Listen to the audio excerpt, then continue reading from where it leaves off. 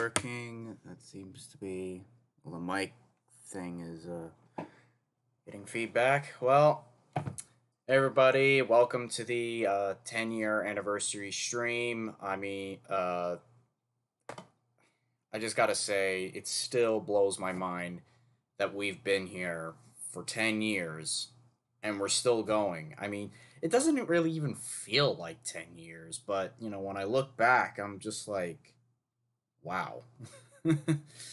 um, so yeah, April 3rd, uh, the actual 10 year anniversary was actually yesterday. Um, but I was busy with work. Uh, I even did some uh, rail fanning out on the uh, Keystone Corridor because Amtrak 130, the uh, Phase 2 Heritage Unit, the new one, was uh, going down the Keystone on the Pennsylvanian. I hadn't seen it before, so I wanted to get it. Anywho, I see some people are even commenting on the beard. Yep, this has been a couple months progress, maybe like three or four months progress.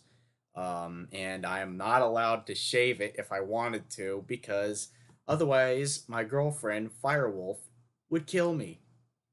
Oh, I'm not even joking about that. She she she does not like it when I sh- uh, trim any of my hair, facial hair, whatever.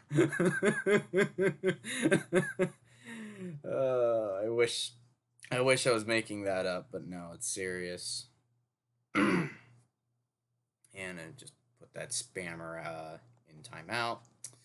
So, um, what we're gonna do, if you guys have read the description, we are going to go on a little uh, video watching trip, basically reacting to all my you know some of my old content, and then working our way up to some of the present day stuff. I'm not sure how long I'm going to keep this going. Now, I'm not going to be able to look at all the old videos because some of them do have copyrighted content in them, music wise, and uh, I don't want to have to deal with that. I mean, oh, it's a live stream, but it doesn't matter. I don't want to deal with that. So, without further ado, let me change, uh, let me get rid of this image out of the way. And then we're on desktop now, and we are going to start going back in time. Oh yeah, this this is what you guys heard at the beginning of the stream during the uh, you know wait uh, the wait feed. Pretty good stuff. So let's just close that. And why don't we appropriately start with the very first video, the one that pretty much started it all. I'm hoping you guys can hear it on your end. No, you don't. Crap. I never get it right the first time. Let me see. We already got ourselves a um, super chat from Fresno Subber. Thanks for the just under a dollar. See, it's coming through on my end, but like the um, for some reason the video isn't streaming the audio. I don't know why. Me try that again.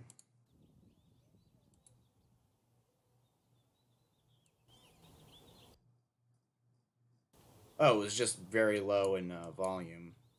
So I guess I gotta turn it up on my end. Not sure if you guys can hear that. You guys hear it? All right, good, good, good, good. I'm actually to turn it down just a little bit more. And, uh, yeah. I think that's going to be good enough for now. Of course, it's in freaking vertical mode because, you know, I was using an old iPhone at the time. I think it was like a 3GS. The video and the audio are a bit wonky because I tried to upload it directly from my phone onto YouTube. And originally there was no audio, but I did a replay earlier this morning and it actually does have audio, surprisingly, now, even though it's glitched and all over the place. Yeah, you can hear it cutting in and out. But, uh, yeah, this was the one that started it all. It was just a simple growl test of one of the Limerick power plant T128 sirens. Uh, this was Site 76 out of uh, 165. Uh, they had just started disconnecting the Thunderbolts back then, which is the one you see on the left. The one on the right is the T128. There you go. There's your growl. but, um, yeah, this was pretty much a simple video that started it all. Um, this was just down the road from my house, actually, the Siren. So, back then, when I created the channel, I, I was really, really... Hold on a second. Robert Vance, TCIC TV, EFTBC Productions. Thanks for the five bucks. Gosh, that's a long name. Will you do another one of these remastered train wreck documentaries? Absolutely. I've got a bunch of them planned. Um, the two that I have off the top of my head is Big Bayou and uh, the what was the other one? Uh, Big Bayou and the Cajon Pass, the first one. So um, yeah, this was pretty simply you know there's not much else to see in the uh, the rest of the video. This was pretty much how it all started. Um, I didn't know what the hell I was getting myself into. It was uploaded a day after the channel was uh, you know officially live. I was just some dumb kid, 12 years old at the time, with a phone uh, that was hoping to film stuff that people have probably never seen before in a small part of southeast uh, South uh, Montgomery County, Pennsylvania, that nobody really because nobody knows about my area where I live. Nobody does. So um, yeah, it's kind of humbling to see such a simple video like that uh, be the groundwork for uh, what would eventually come. Now, all these Bad Piggies videos, these were, oh my gosh. There used to be this app, uh, or not app, it was like this service that came with the uh, Bad Piggies app, and I think it also came with some of the other Rovio games. I forget what it was called, but I used and abused that to try and put stuff on my channel. As you can see, they gained no traction. I'm not even going to bother watching any of them because they were just pretty stupid by nature. But um, you you know you can see for yourself there was just a ton of them. Um, why don't we start going into some of my first rail fanning videos? Um, we'll start with this one. Hey, look, I was facing the right way. A bit loud on my end, so I'm just gonna turn it down just a little bit. This is I'm still I can't believe I remember this is what Strasburg look uh, 90 looked like all those years ago because now she looks more like her 90s dress without that white stuff on the front. The white paint on the smoke box. Of course I was doing this handheld so yeah. Wait wait wait hold on. I just noticed something. Did they I don't remember that signal being there. Did they did they replace that? Cuz I could have sworn Hold on a second. Let me check another one of my videos. Um, I'm just going to duplicate the tab real quick and then just look up one of my my more recent Strasburg videos. We'll just do the 611 one because, you know, that's the last time I was up there. Uh, where's one of mine in particular?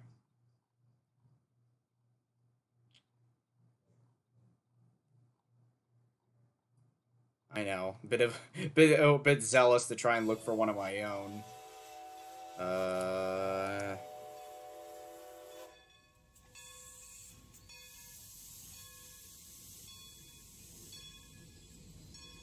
Got another donation from uh, Joey the Cat, U.S. Class 1. Uh, thanks for the two bucks.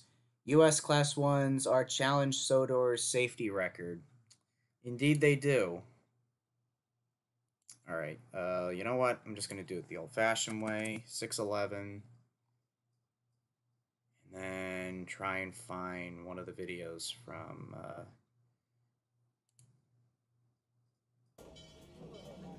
kind of jumping ahead to 2019, but uh, trying to remember.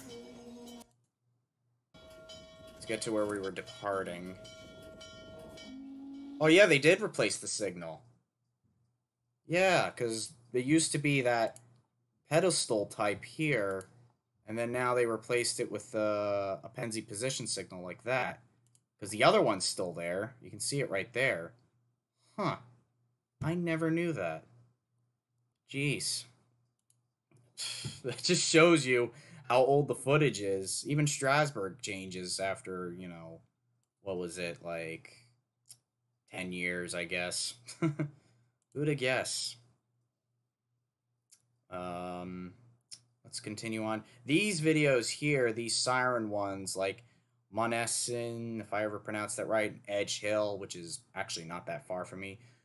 These videos were probably the easiest to ever edit. All I really did was take a photo of said siren, made it with the audio of said siren on the Siren Archive, which was an old website that is it's still up. It's just nobody really uh, updates it anymore. It hasn't been updated since 2006. And then I would just upload that as a video. It, they were just pretty basic, you know, back when I was still obsessed with sirens. Um, we're now continue on with one of my other Railfan videos. Oh, hello. Another donation from Robert. Will you experiment with filmography like your mother one day? Y'all like that very much. Not sure what you mean by that, but uh who knows? Let's see. Strasburg 90 arriving at Cherry Hill. Let's see how cringe this clip is. Oh. Step one to being a foamer. Scream every time uh, somebody blow uh, train comes near you.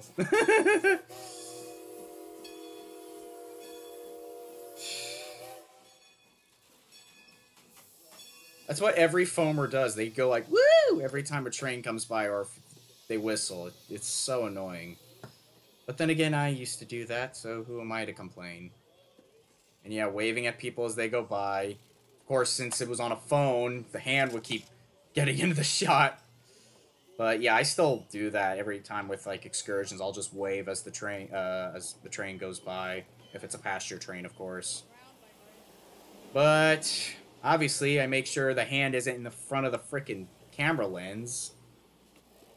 Uh, I scream whenever I see something very rare. I mean, we all used to do that at some point.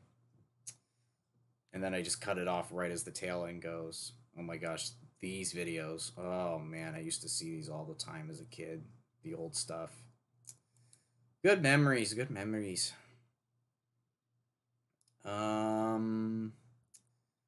Let's see. We'll also check out um, probably one of these Young Ones Siren parodies. Now, the context behind those videos is there used to be a British program uh, from 1982 to 1984 that starred Rick Mayall, rest in peace, as well as a bunch of other British stars at the time. And I wanted to, you know, bring light to the show and do like parodies of it using sirens. It was a dumb freaking idea. I don't know what the hell I was thinking, but a lot of the clips, you know, the context behind them, it still makes me laugh. Um, particularly uh, ones like this one right here. T128 as Rick. Neil the hippie.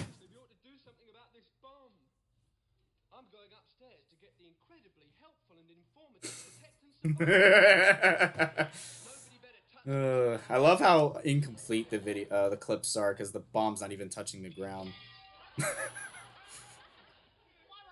and Thunderbolt, as the as the punk Vivian wants it to go off, so it's like the video itself is terrible, but the context behind the clip it still makes me laugh because I love the show.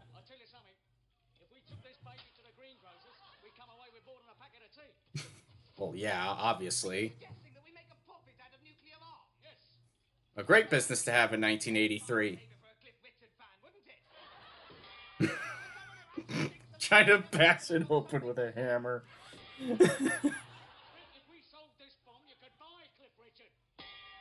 and then bending a freaking badly modeled sledgehammer. That actually happened in the episode, and I tried to model it in the parody because it was just so funny.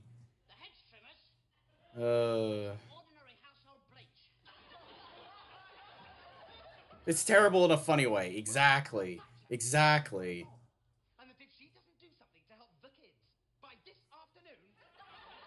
And that show that that tells you right away it's a British show, not a uh, American one, even though it's got American sirens. Oh my gosh, what was I thinking back then? Um, let's see what else old video wise. I'm not gonna go after these ones because they're just way too long. I don't feel like sitting through them half an hour. Um, now videos like the Rail Fan Thriller. I, have no idea why the hell I made that. And unfortunately, this video of Colebrookdale, I can't uh, show you those because they have copyrighted music in them. Can't really show them. Um, I will, however, see if I can find a shorter but watchable um, old Railfan video. Uh, ooh, this one's a good one. So Amtrak Train Days. This used to be an event Amtrak would hold every National Train Day. Um, they would go to a, a, certain location to show off their equipment, stuff like that. Uh, it seems seems to be more uh, seems to make more con uh, better context if I just showed you parts of part one instead. But yeah, this was a fun event. This on this year, this was 2015. They were hosting it in 30th Street uh, in downtown Philly on the lower level, and they had all kinds of stuff on display. It was it was such a surreal experience that I totally butchered when filming, but it's something I'll never forget. So we'll skip around and watch some bits and pieces of it. Tug's intro.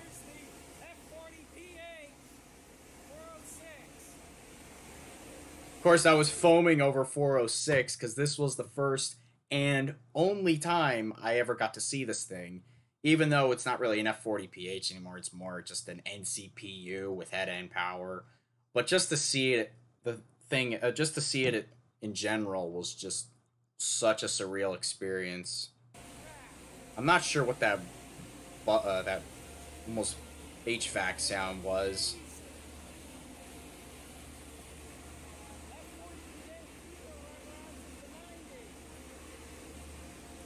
Yeah, I was just busy foaming over that thing, and then 642 was on the head end, and you basically would walk through the exhibit train first, going through the history of Amtrak. And the funny thing is, back when I used to rail fan at 30th Street a lot, a lot of people would foam like, "Oh, look at the Phase Three equipment in the yard," and I was and I was like, "That's just the that's just the friggin' uh, that's just the uh, oh geez, I'm trying, I'm almost forgetting. Uh, oh yeah, I was like, that's just the exhibit train. It's always there. I think it's still there in 30th Street right now too.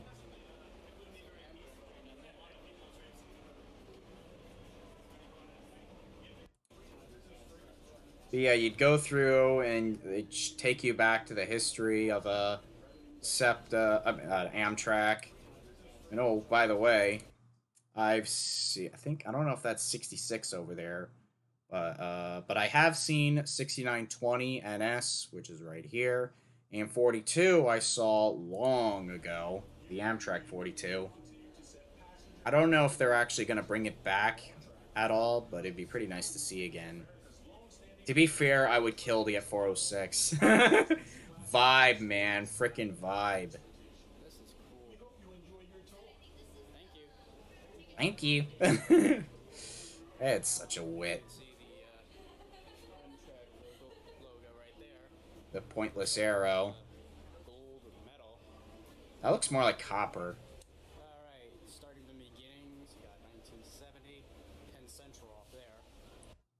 Yeah, in the form of a Metroliner. That's actually true. That's.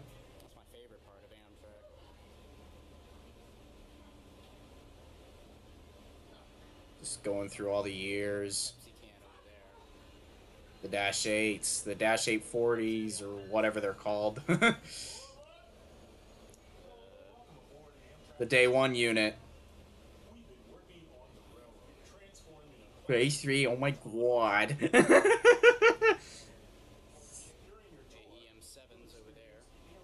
I love that livery. That Phase 3 that they had.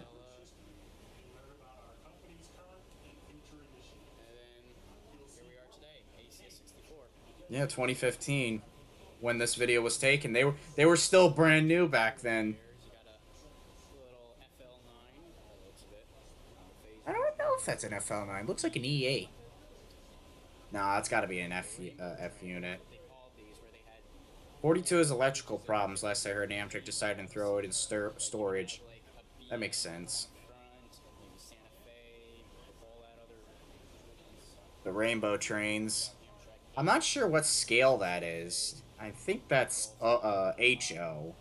I'm sure somebody in the comments will be able to, uh, or in the chat, in this case, will point that out. Yeah, there it is again. Skip around a little bit, because like I said, this video is over a half hour long. All the horns. I don't know if these are models or real, but, you know, they had them from all the different engines. Uh, and I think later on you even got to tour some of the equipment they had on display. Um, see if I can find that bit. That's O scale. Oh, it is? Huh. Well, then again, I wouldn't know. And this is the coach itself. That's not coach. That's that's the snack car, I think. You can see the AEM7 over there. 2305. That was my favorite of the toasters because it was the first one I rode behind and the one I saw the most often. Check out the coaches. Hi there. Now, at the time, I had never ridden Amtrak in my entire life, so this was all new to me. In fact, I don't even t- think I took a first Amtrak run until I think almost two, one or two years ago. Yeah, I know. I've been a rail fan for so long, and it took me so long to actually ride an Amtrak train. First time even sitting in one of these. I will admit, those Amfleet cars are actually pretty cozy. Put the newspaper. Not gonna lie. Uh, that's one thing I Amtrak definitely gets right. It's those Amfleets. toilet in case you have to go. It's a good crapper, even though they're taped down. This is the dining car, I believe. Cafe. My camera's about ready to run out of memory. It's not dining, it's cafe. Snack car. Yeah, see, there you go. I'm getting a little bit. And then go over into one of the view liners, I think. Yep. Yep. The guy I was with was actually my mom's uh, ex boyfriend who uh, passed away. He's dead now. Um, he was accompanying me for the trip. I know it sounds embarrassing to say, but you know, back then I was 15 years old. I wasn't trusted to go by myself. Bathroom. Can't be bad. It's like the, all the comforts of home. Isn't that awesome? yeah, we were both shocked that there was a literal shower on board. but hey, you know, when you're traveling in luxury, you gotta, you know, in the view liner and you're paying top dollar, you'd expect something like that. So, uh, yeah, not much else to see there. What I was pissed uh, about Amtrak train days that I missed, there was a bell duel between an NJT multi level and the SEPTA uh, Comet cab car. Uh, we all know which one would have won the SEPTA one because it was mechanical versus an e-bell. But uh, now let's go over to part two to see some of the rail fanning. Because one thing, as as much as I hate some of my old rail fanning videos, the thing I always love is seeing all those old sites you almost never, uh, you almost never get to see anymore. And I think one of those sites is coming up right now.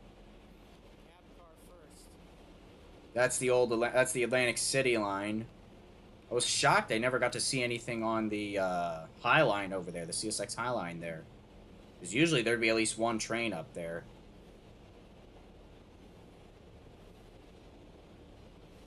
A lot of Comet 4s. At least I think they are. It's gonna come up. It, they, they're definitely not that big anymore, those uh, Atlantic City Line trains. They're actually pretty small. Yeah, there you go. There it is. ALP 45DP. They do not use those things anymore. Uh, they had those. Then they had those X Amtrak P40s at least once or twice. I don't remember. Uh, I think I've seen one at least. And then um, even the PLC 42s, which I've heard are junk. But nowadays, all you see on those trains are the GP40, PH, whatever they are, you know, the XCNJ stuff. And let me tell you, that is one hell of an upgrade. Because the ALP 45s are, from what I've been told by a lot of NJT rail fans, they are garbage. because it's a dual mode engine, and usually with dual mode engines like that, there's probably a good chance it's going to be good at neither propulsion.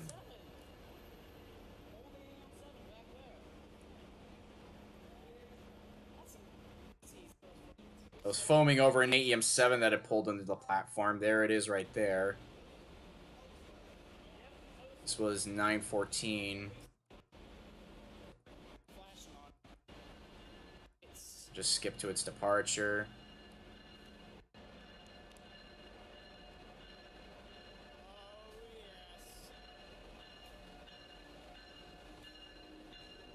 Now, at the time this was taped, those things were already starting to quickly. They were starting to become a rarity, um, so you weren't able to see them as much anymore. I think this must have been. Oh, and Heritage Diner too. You don't see those anymore either. like I said, that's my one thing I like when watching some of these old railfan videos. You get to see old sites you don't get to see anymore come back to life again. Of course, course, you could always recreate them in Trainz or something. Oh, there's another one. Out with the old, in with the new, quite literally. this was rare too. This was the only time I don't I think anybody's gotten to uh, Railfan on the lower level of 30th Street Station. And then look at that heritage coach too. Oh my gosh. That brings back so many memories.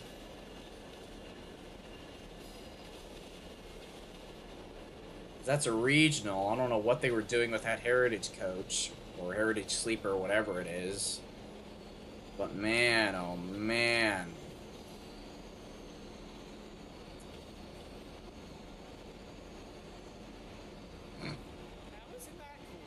Oh my gosh, it's me without facial hair. And twice as young. or no, wait, that wasn't the... That wasn't a regional, that was a Pennsylvanian. Because I remembered there was another site that was in this video that you don't see anymore. There it is. P40DC.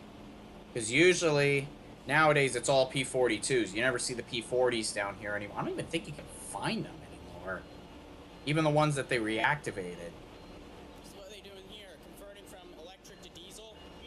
Well, yeah, because it's Pennsylvania.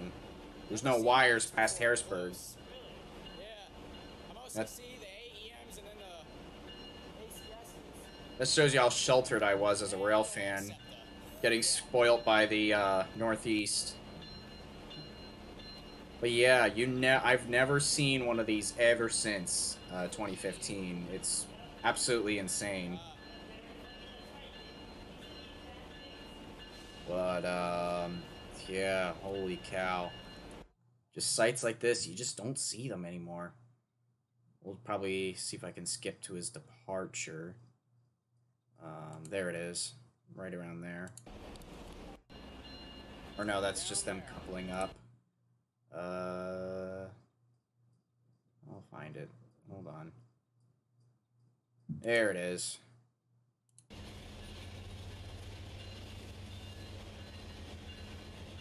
Bit smoky.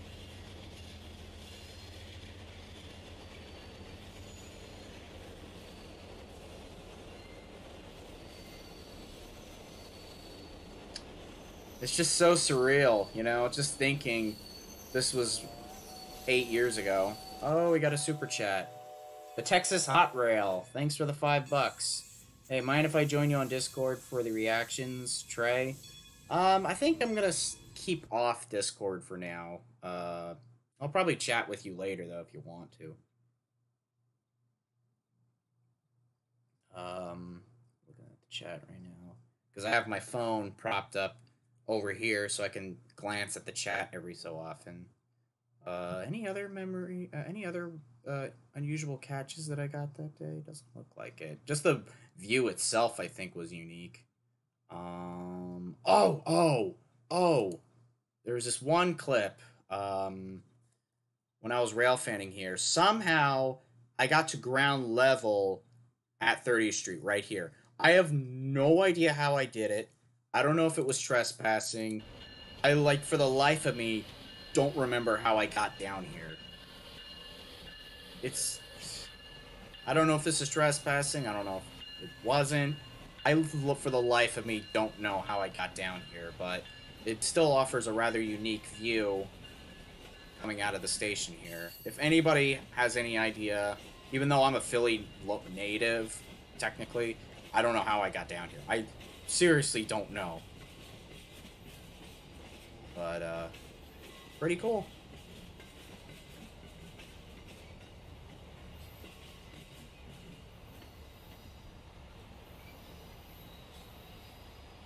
Catenary cars moving. Check it out. Uh, yeah, one of the only vehicles in America that I know of that has buffers. It's so, it's still so weird. I don't know how I'm used to that. But, uh, nobody bugged us when we were down here, so like I said, I don't know how I got down here. I wish I did, but I didn't. Oh, there's me again. Ugh.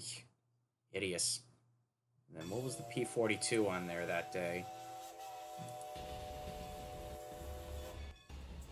It was 201. Just an ordinary one. We got another super chat from uh, Robert Vance. Will you ever do another Engines of Septa? Eventually. I don't know when, but eventually. Alright, so I think we've had enough of uh, 30th Street for a while. Um, let's see, what else could we watch? Not that, because that's cringe. Even, you know, too cringe. Um, short rail fan at Sharon Hill. All right, it's three minutes. Why not? Crappy old intro. Ah, Colebrookdale. Skip it. Let me go back just a little bit. Yeah, there's 600. Sharon Hill, to be honest, is not an area you want to rail fan in.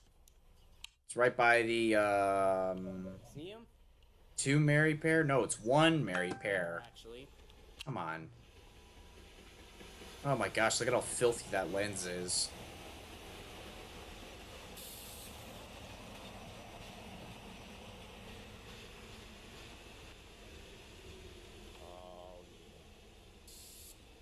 Oh, yeah, it's a Silverliner 4. Haven't seen one of those in a hot minute.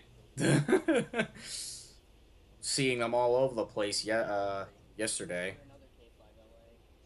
That's the Philly sub I was hearing. It was not Amtrak, it was CSX. 41 departed. 30th Street, it's on its way. Keep looking at it. that was my buddy uh, Daniel. Um, I don't know if he still has a channel. I was on Skype with him at the time. He was tracking uh, all the trains, and literally as soon as I started recording, he said 141 had departed, and well, there it is. That's my dad and his girlfriend on the left there. The grumpy old Englishman. And then I forget. Are those the position signals? I don't know if they still had position signals back then.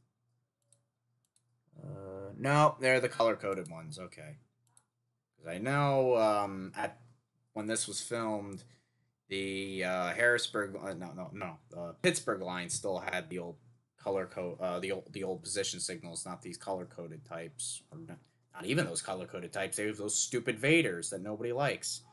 And uh, don't worry, I did not ignore that super chat from HR126. Congratulations on 10 years. All right.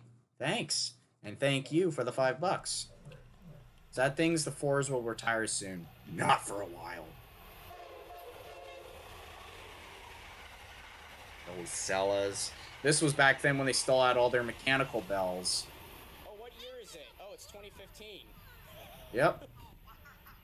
That was the number on the on the last SL on there. Yeah, quite literally. So, alright, let's continue. I don't know what that noise was. oh, the old Doodlebug video. I got I have the original clips without the music. Somebody asked if I could upload those. Um, I'll probably do that some sometime down the road. Uh oh, there's this video with the SEPTA crossings. I have no idea why this guy gained so many views but we'll check it out.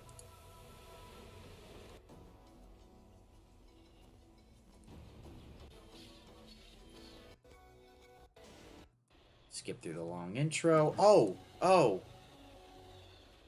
Oh, there's a memory you don't see anymore. When the cab cars still had the old uh, walkway still built on there before they put that metal slab on the front. Man, that really brings back memories. That shows you how dated the clips are, too. now, I forget where this music track came from. Somebody uploaded, like, a series of synthesizer demos, and I got a hold of them, but I've since lost them. They were all really, really cool, though.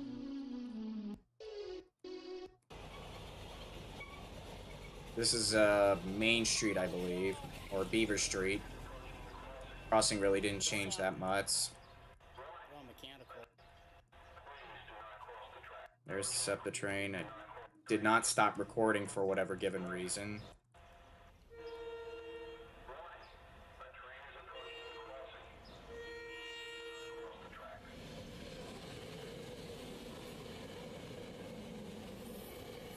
Yeah, it's just an ordinary catch. You get this sight all the time. And a lot of these crossings down here, they still exist, but they're not all mechanical anymore. At the, at the time this was recorded, uh, I think it's uh, Main Street where I was.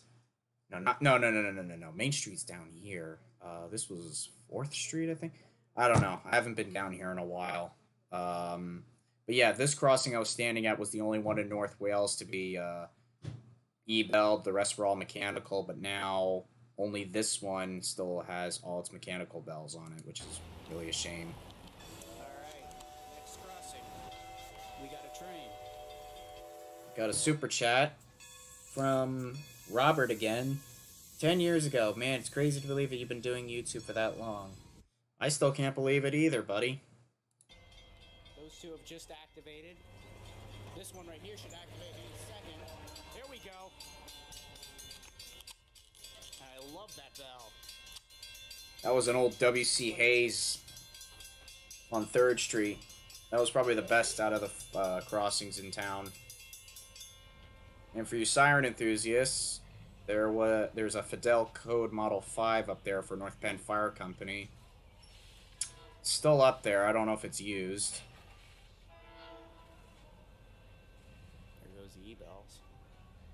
Yeah, right by the station.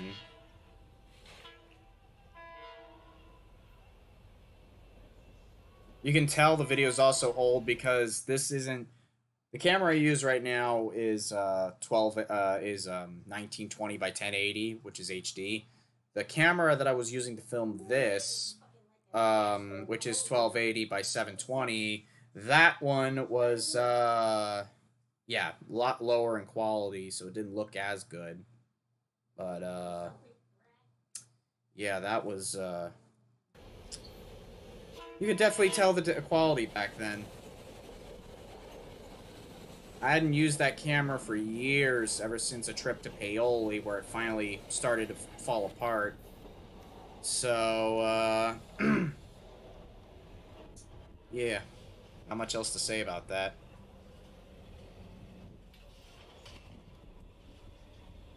Oh, Kyle Leonard's got a good question. What is the worst car you ever owned so far? Uh, probably the Mitsubishi that I own right now. That piece of junk. At least the Hyundai I had had an excuse for being unreliable because you know it was old. Um, let's see. I'm not gonna do the Hitler parody video. Um, oh, these videos. Oh man. Another super chat by Samuel Van Handel. Thank you for the two bucks. Now, at the time when this was recorded, um, this was uh, when was this? August third, twenty sixteen. So three years.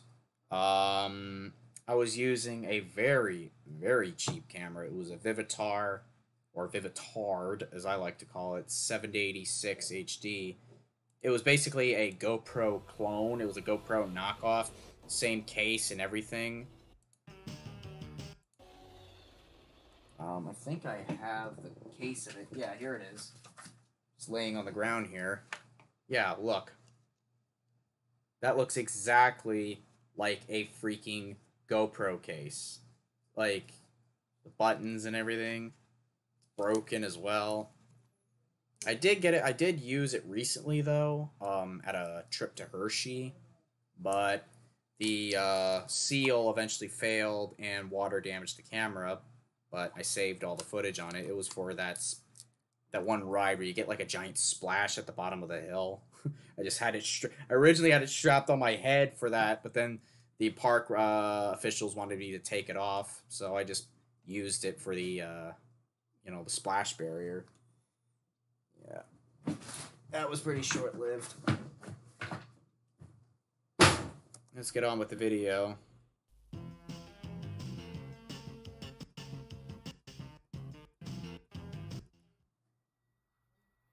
You'll tell how bad the quality is right away. At the time, one of the bridges was out because they were doing a lot of track work for the uh, Media Elwyn, which back when it was called the Media Elwyn, because now it's known as the Media uh, Wawa. I think I might still have the camera itself somewhere. Because that was the original case for it. In fact, let me actually go look for it. Be right back, just a little bit.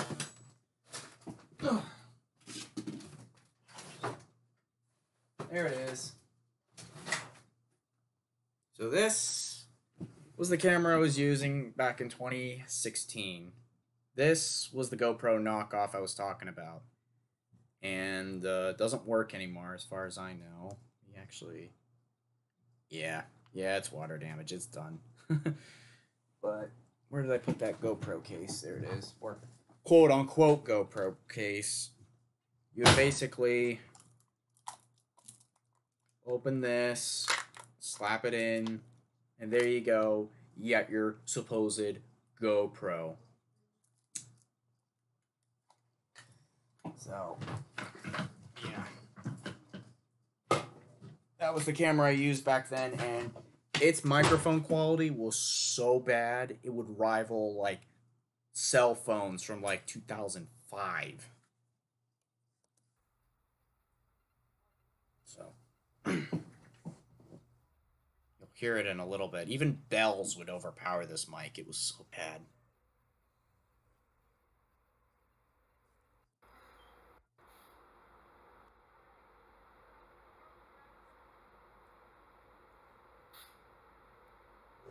The old signals. I think they replaced a lot of these as well, even though. Yeah, not the best. But it was all I had at the time and it worked, so. Let's see if I can find a better example here.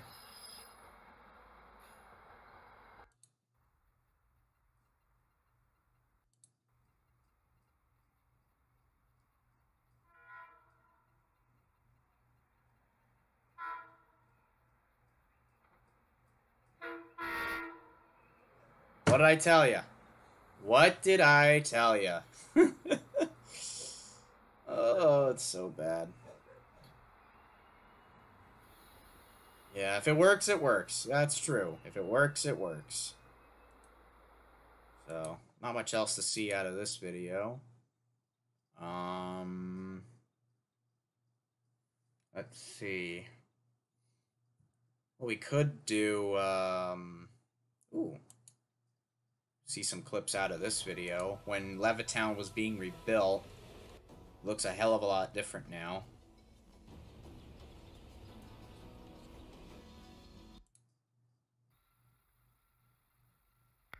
Uh, there's one clip in particular I wanted to see out of this video.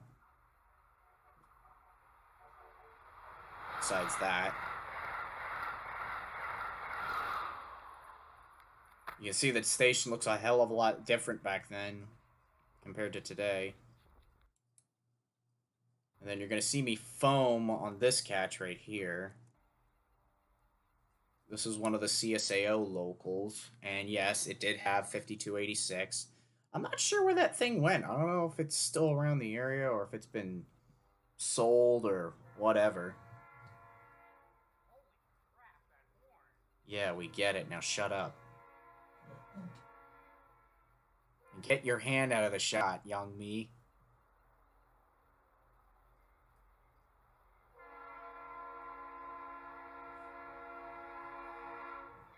Oh my gosh, I was foaming so much. Do like how they did the crossing sequence for the station, though. Oh man.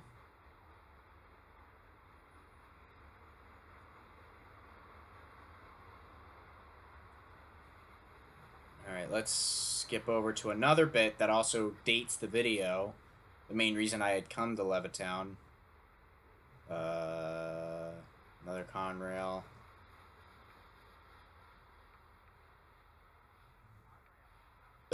Excuse me. Here it is. So when this was filmed, this was during an event I like to dub Septageddon, because what happened was the Silverliner 5s had to be taken out of service due to cracks in the truck assembly.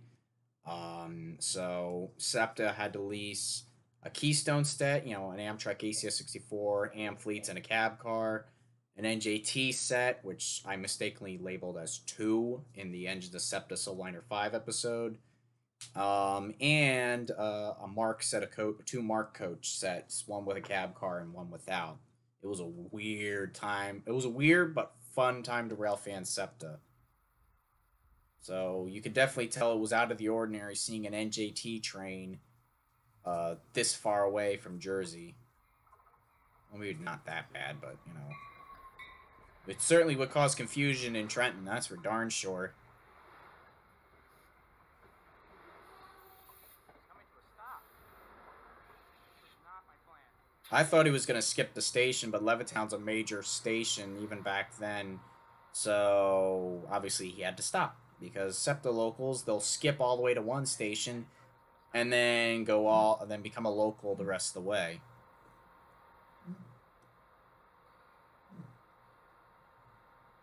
Ooh, I saw a good question from Frank Nangle. How do you make your train videos? I'm going to answer that in just a little bit, and you'll see why. I got blocked by a regional. Blocked from seeing a regional, I meant. Oh my god. Yeah, foaming again. Shut up. but even so, that was a cool sight. Oh, look, there's my old phone. That was my uh, S. That was when I started using Samsung, actually, S5 Active. I now use something different. I have it. Probably hiding under my junk somewhere. But I now use an S. Oh no, I forgot. It's what I'm using for the uh, stream chat. Say hello, everybody. but yeah, it's like an S20 ish something. Because that S5 eventually broke. So I, I went through a lot of phones and stuff when I was younger because I was such a klutz. Um, the next train in this clip. Um, oh, oh, you gotta see this dumb. I don't know what I was thinking when I came up with this idea. Ground shot with a regional. What? What? What? Why? You know what's gonna happen.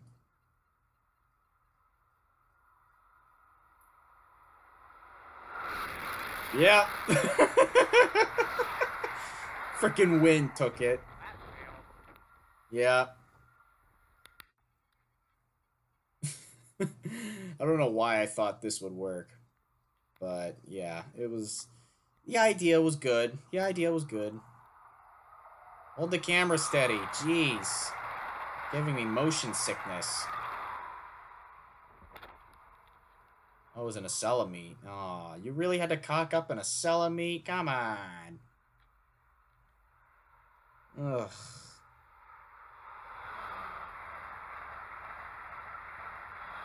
I do wish they went 150 through here. Oh, this. This was an oddity. Yep, ACS 64, an Amtrak one pulling MARC cars with a SEPTA cab car. Where else in the world and what time of the year would you see this? Oh, that's right. They would do it again in uh, 2020, I think. No, no, no, no, no. Either 2020 or 2021 when they were uh, when there was that uh, turnpike dispute, whatever the hell that was. But yeah. So that's enough of that. Let's move on to ooh, one of the old NS videos. This is when I started filming a little bit more often in my home area.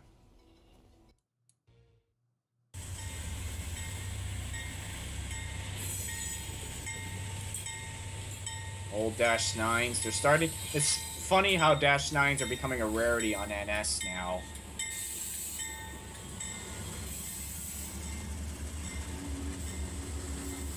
That one's also a C6M now. And that thing doesn't exist anymore. That standard cab dash dash nine. I think that was my first and last time seeing one of those things. A standard cab dash nine. Oh man.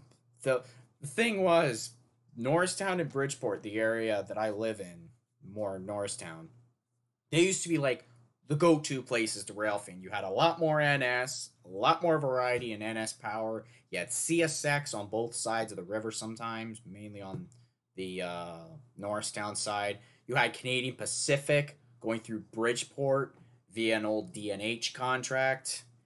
It was like, like I said, it was one of the go-to places to rail fan. But over time, NS gave CP the boot when Hunter Harrison wanted to move out of Philadelphia anyway. CSX didn't want to re- did not want to renew their uh, con- uh, trackage rights, but they would still use NS in, a, in an emergency.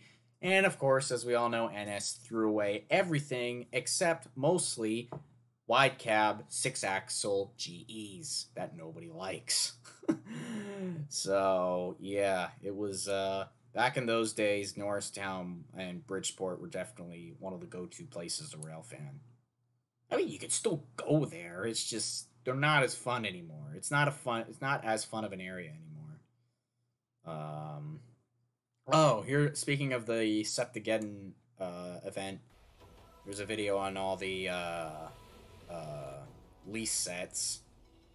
I'll just skip to the departures because I was just foaming and being an idiot uh, for most of the video. Um, here we go. They kept them all in Suburban Station.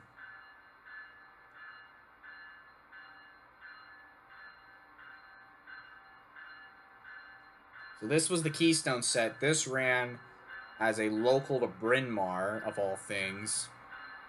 Really confu- would really confuse a lot of uh, patrons, especially at Ardmore, thinking it was an Amtrak train.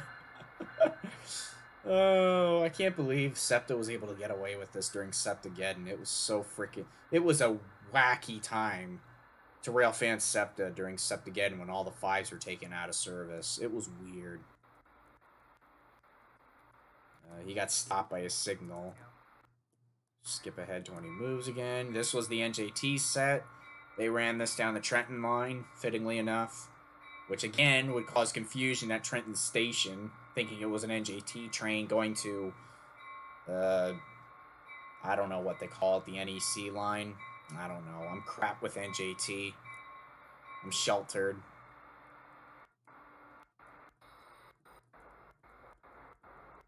And then 4627, which was the ALP 46 that was leased.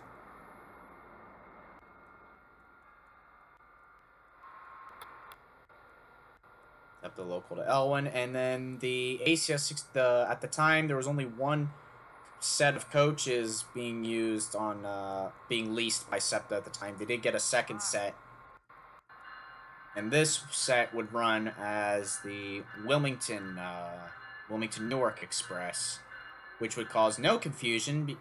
But you'd be wondering why the heck you're seeing MARC, a Maryland commuter service, all the way up in freaking uh, Delaware.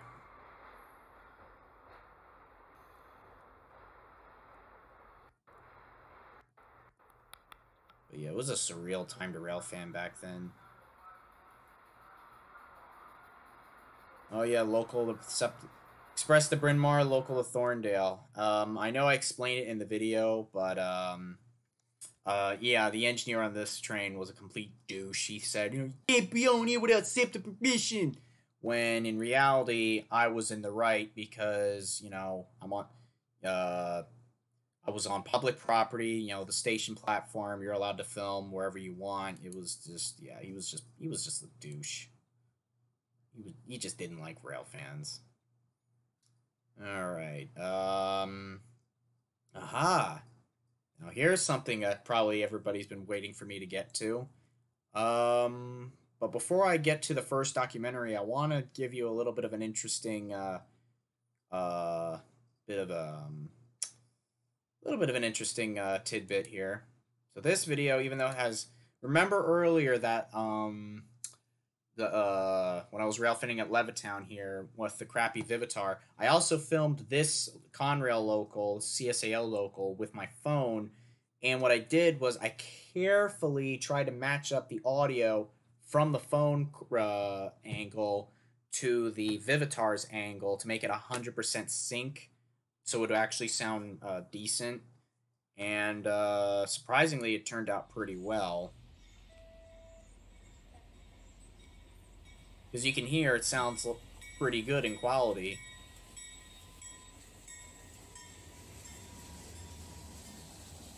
When in reality, if we go back to that video, if I can find it, um, where is it? There it is. Find the timestamp for it. Come on, where is it? It was when I was the other on the other side of the plat. No, it wasn't when I was on the other side of the platform. There it is. In reality, that clip sounded like this. Come on, internet, buffer up. Thank you.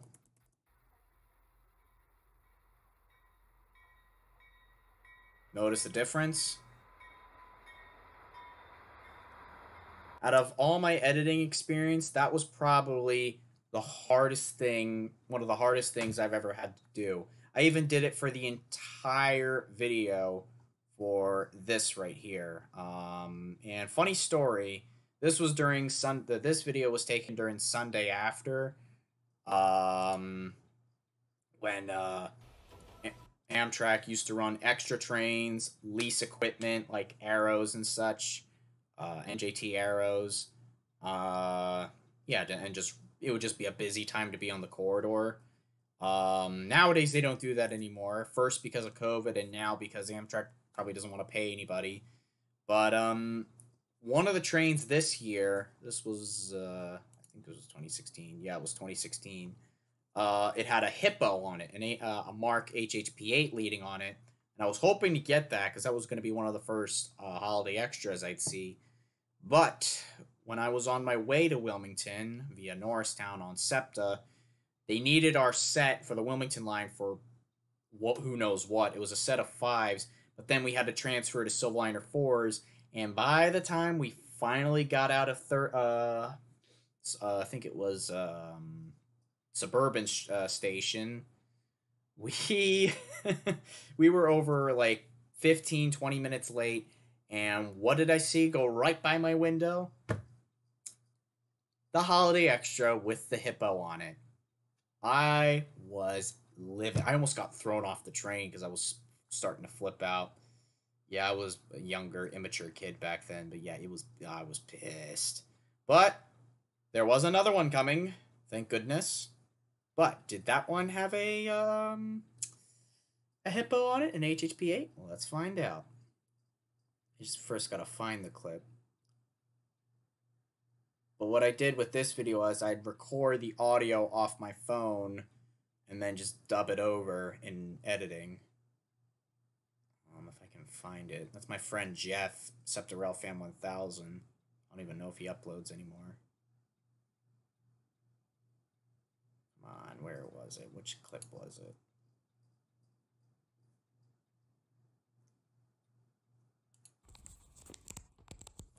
Yeah, that's how you could tell. It was off my Mm. phone. Eric, No, that's Septa, I think. Yeah, that's Septa. Where was it?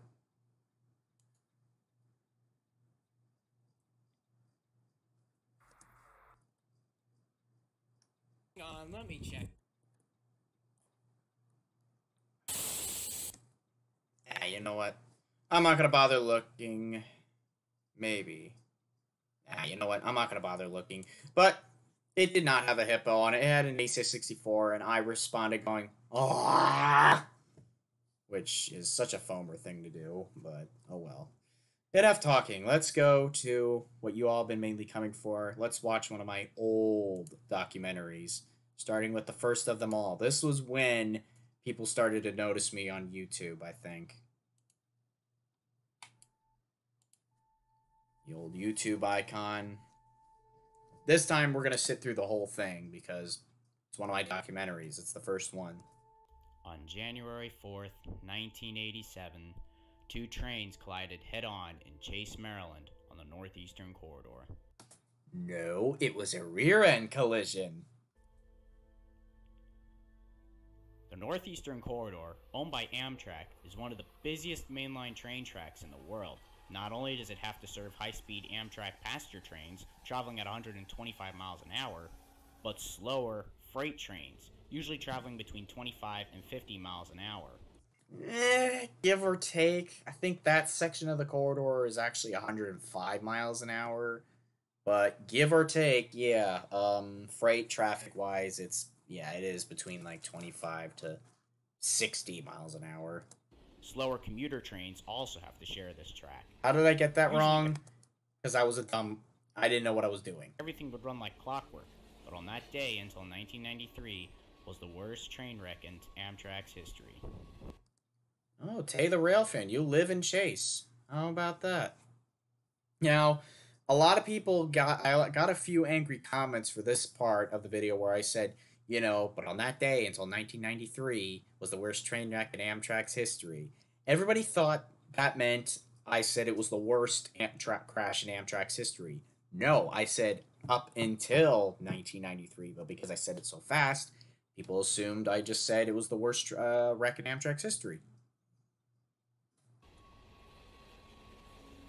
But yeah, that's NS63W, an empty stone run. That was a once in a lifetime catch. Oh, a super chat from Robert again. We're going back to the past to the very first one. Indeed, we are. Um, so anyway, yeah, I forget where I was going with this freaking ADD moment. Oh yeah, so yeah, this catch, this video of uh, NS63W, this uh, stone run uh, from Wilmington, Raybould, Delaware, up to uh, Birdsboro. Normally, this runs in the middle of the night when Amtrak's not running, but this day, back in 2015, I don't know what happened, or actually, it might have been 2016. They ran it in the daylight, and I was, by chance, I was in Sharon Hill, and I had no idea it was coming. And it's, I've gotten a lot of comments asking how the hell you're so lucky to get that, stuff like that. Back in the day, it must have been a little bit more common, but nowadays, oh, no, no, no, no, no. Amtrak no like daylight freight. That's actually why, believe it or not, Amtrak, uh, no, Conrail ended electric freight operations, even though electric freight, uh, freight service was, you know, ahead of its time back then. But because Amtrak complained, Conrail decided the hell with it and went back to regular diesel operations. What is ADD? 12:30 Attention deficit Eastern disorder. Time, Amtrak train 94, the Colonial, was departing Washington's Union Station. The Let me actually hold on. I wonder if you guys can. I'm just hoping you guys can hear this. I'm just gonna listen to it on my phone here. Of course, the stream's delayed. Oh yeah, you guys can hear it. Just wanted to make sure. All right. train consisted of 16 coaches and two newer locomotives AEM 7900, the prototype, and AEM 7903, which was leading. That's correct. These two were the first to be built for Amtrak in the early 80s, replacing their aging GG1 fleet. They were destined to do 125 miles an hour. That's, that is their The top train speed. consisted of passengers returning home from the holidays or students ready for the second semester in school. The train's next stop was Wilmington, Delaware, before reaching its destination, Boston South Station. However, it would never reach Wilmington, Delaware. I have ADHD, attention deficit hate Meanwhile, trains. at That's Bayview true. Yard, east of Baltimore, Ooh, how long did it take to make this documentary? Um, I had started. Uh, the I had the idea back in like September, and then I started producing it uh between November and December, but I didn't officially release it until January fourth, twenty seventeen. three Conrail GE B-36-7s were beginning to leave light with no Wait, wait a minute. I, I know I keep pausing, but I just realized did I make the same mistake that I did in the remaster? Because I should have said B thirty six dash sevens, because that's how everybody says it, not B thirty six seven. Meanwhile, at Bayview Yard, east of Baltimore, three Conrail GE B-36-7s I did. to leave light with no Oh my gosh. I never learned. Ricky Lynn Gates was the engineer, and Edward Cromwell was the brakeman. They had forgotten to do a series of cab signal tests in their lead engine 5044. Someone had also removed one of the light bulbs for the Pennsylvania Railroad style cab signals.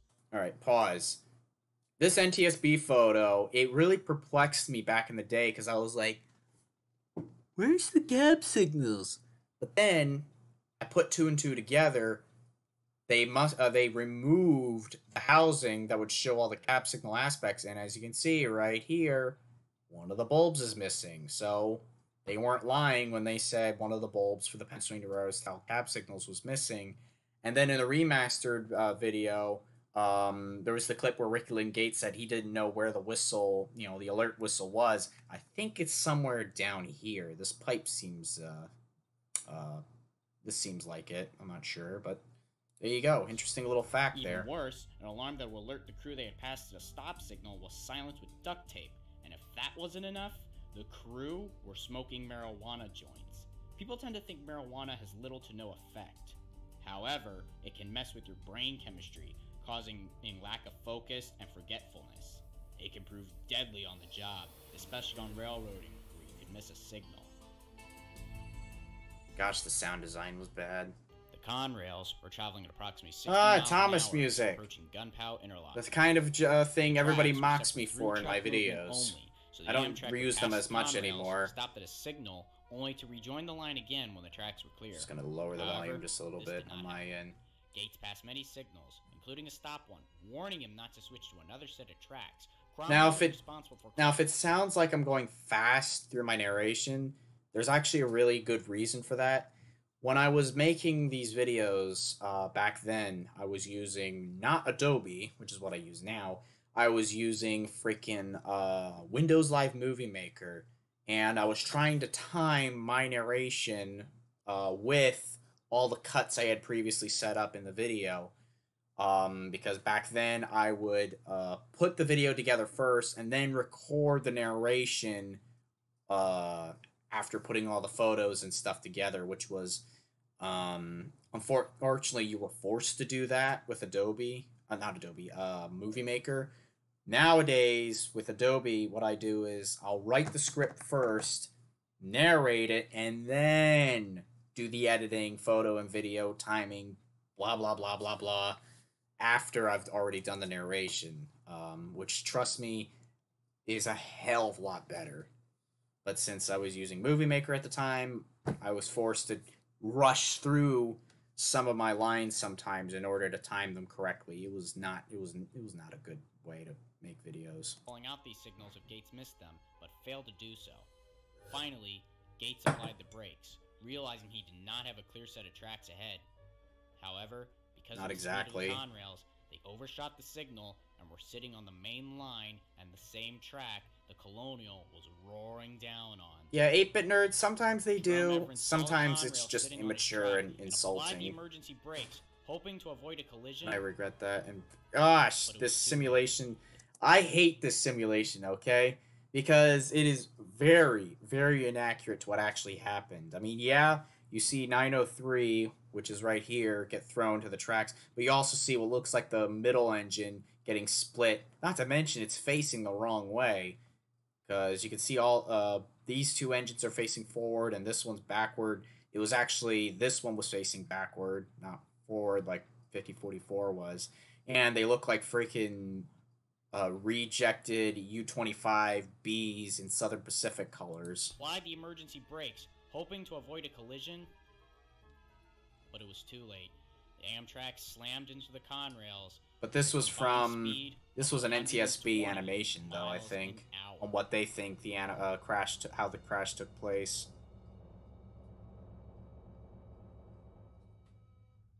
Actually, look more like NS units. After the crash, silence covered the tracks. hey, that rhymes, sort of. The locomotives lied smoldering, and passenger cars were crushed.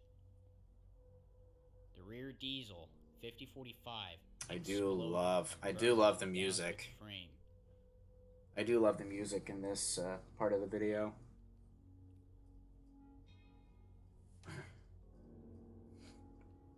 The middle engine, 5052, suffered severe cab and nose damage. 5044 suffered little damage. Mm-hmm. Cromwell was injured in the collision. Gates was uninjured. However, in the Amtrak train, there was less luck. Jerome Evans was instantly killed in the collision. 903 was thrown to the west side of the tracks among some trees. Now, something I did like about Movie Maker is some uh, one of the uh, settings you could do with you know the photos is add a zoom effect, and it's all pre-done. It'll do it. It'll go forward. It'll go backward. It'll pan to the left, right. It would do it automatically at a set speed, depending on how, excuse me, the uh, how long you set it to be in the editing process and that's something I do miss, you know, because all you had to do was choose which uh, whatever effect you wanted, and then boom, you were done. With Adobe, you have to set up your keyframes and then move the object across, and then you'll have your panning effect, and you have to time it correctly as well, which is a lot more complex. But hey, beggars can't be choosers. Did the remaster? was crushed by the take long the remaster of this documentary take longer Experts say freaking of lutely collision was like 300 tons of TNT going off, enough to level a city block. the remaster was a lot more complex too Within minutes, rescuers and medics arrived on the scene. They were overwhelmed by the scene of destruction. Yeah no kidding Inside the mangled Amfleets, they heard people screaming and pleading to be saved. oh yeah But their tools, such as the jaws of life used in automobile accidents, were simply useless against the mangled train cars. well yeah because it's steel not metal Using ladders, airbags, and ropes, or whatever else they had at the scene, they worked feverishly, even into the night, to save the last victims. A total of 16 people lost their lives. rushing through again They were injured. wasn't jerome speeding yes he was but i did not mention that was one of the major points i did not list in this video that i mentioned in the remaster The accident, much was to follow. Gates and Cromwell denied the fact they were smoking marijuana, but drug tests showed positive. Gates even claimed that the signals came too late to warn him, but investigators knew that just wasn't true. Another thing is, just like I mentioned earlier, there were a lot of other factors to the accident that I listed in the remaster that weren't present in this one. The speeding was one of them, but in this case, I focused more on obviously, you know, um, Gates and his marijuana. But I also focused on other things, you like you know, the speeding, the um, the signal color, even of all things. That's what I like to try and do with my videos: is look at every different aspect uh, that led to the disaster. Eventually, Gates was charged with manslaughter by locomotive and sentenced to five years in prison. Why was the mic so bad in these old ones? Well, that's because I was using junk mics. In fact, one of them is no, that's an Xbox headphone set. Um, hiding under that junk somewhere. But I used to also use the Cyber Acoustics headset that was USB. That thing had really atrocious uh, audio quality. I for, I think what I was using for this was my phone. Or no, no, no, no. It was probably the computer's stock mic.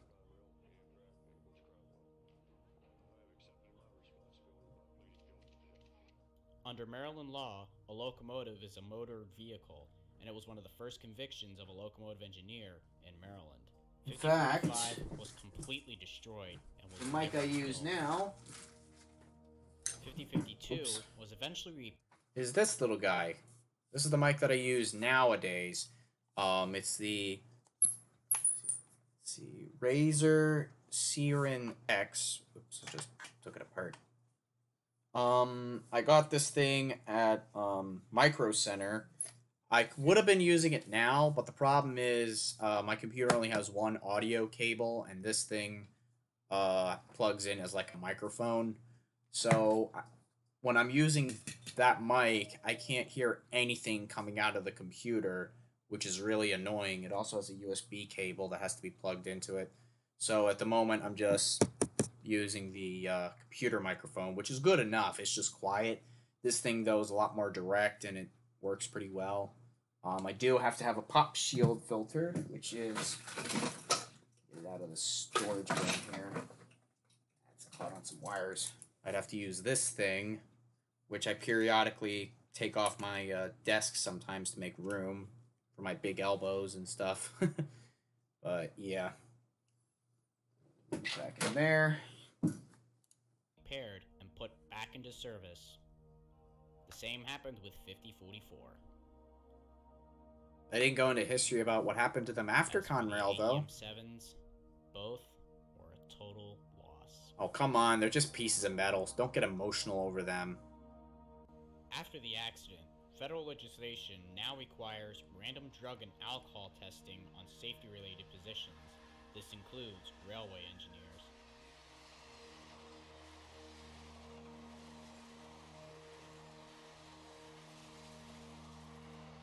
The accident also paved the way for automatic train braking devices such as positive train control, now installed on hundreds of lines, including the Northeast Corridor. I wouldn't say this accident paved the way for PTC, AEM-7 but long the idea was there. And also, one thing I hate about my old videos is how I promoted PTC, like, oh, PTC could have prevented this, could have prevented that, to the point it's become a meme associated with me. I have since learned that PTC, it sucks to be honest with you. It's it breaks more than it works. I'll just put it that way. until in recent times been replaced by the new ACS 64.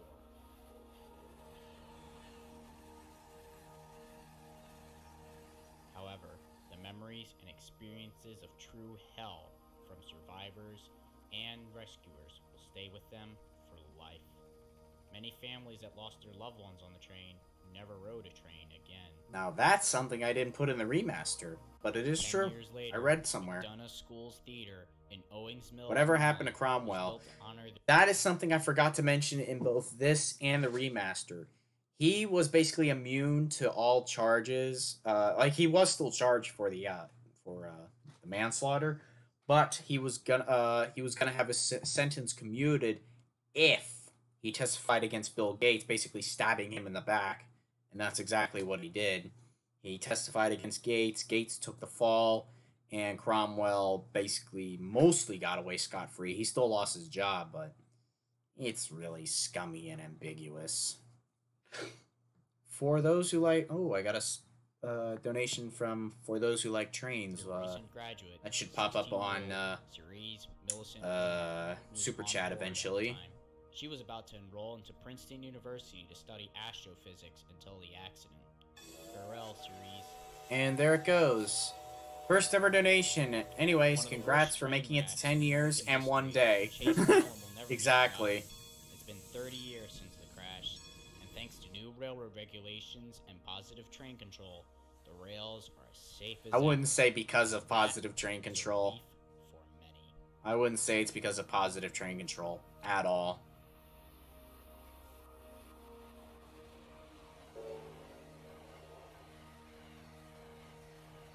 And yes, I did get it from a Lancaster Dispatcher article.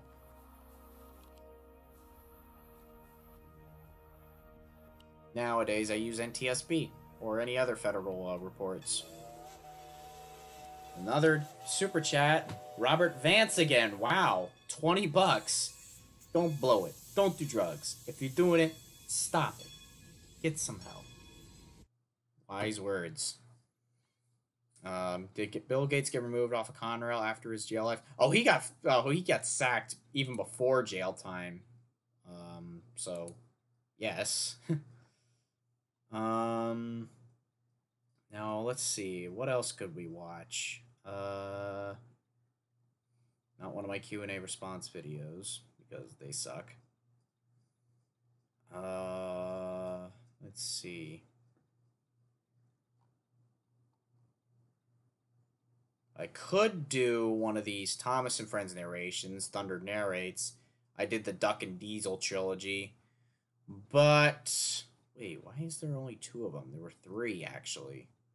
Yeah, there was Pop goes the Diesel, then Diesel's Devious Deed. Where did the other one go?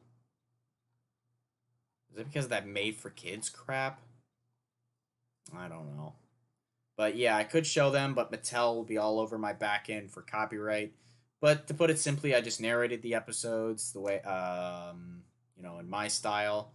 They were pretty fun. I might do that one of those again. I don't know. Now let's go from the first documentary to the first Engines of Septa, and boy, this video's uh, it's bad. It's really bad. I'm not even gonna lie. It is bad.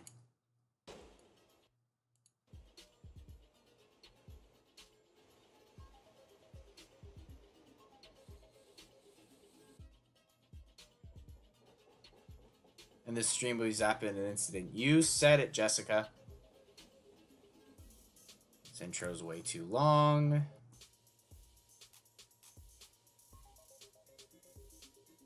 Welcome to another new series called Engines of Now this I remember was taken off my phone, and it sounds like it's if the audio sounds like it's off center, that's because it is.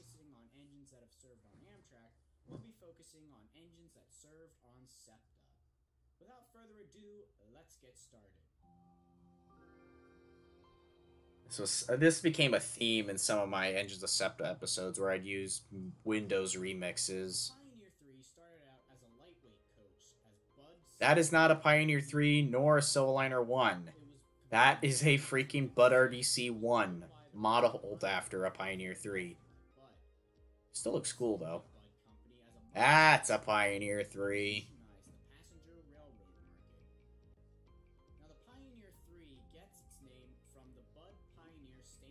That's actually true. I've been there before.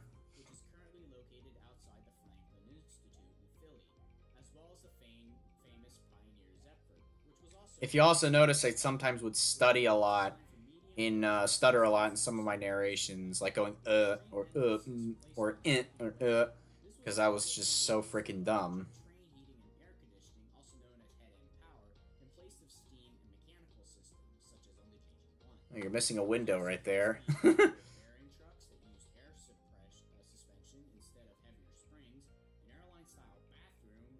Why does the audio sound so quiet? That's because it is. stainless steel car body, which also made them pretty tough. The result was a car that weighed only 53,000 pounds or 24 tons. This might deserve the remaster treatment as well at some point. Yes.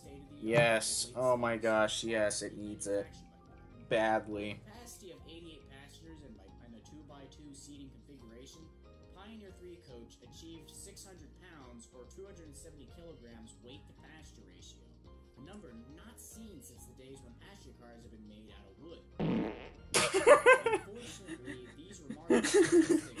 I'm sorry, that still makes me laugh. Of course, was the expensive comfort where you would have barely any leg room where you sat.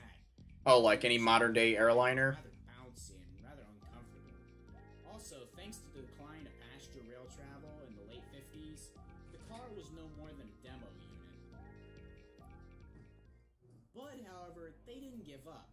They redid the design to make it an EMU car with dual Random Donald and Douglas theme goes here. the Pennsylvania Railroad's increasingly antique MP54 suburban MU cars prompted the railroad to order six Pioneer 3 MUs from Budd in 1958. Measuring roughly 85 feet in length and 10 feet in width, the Pioneer 3 coach When will I end the live stream? I don't know.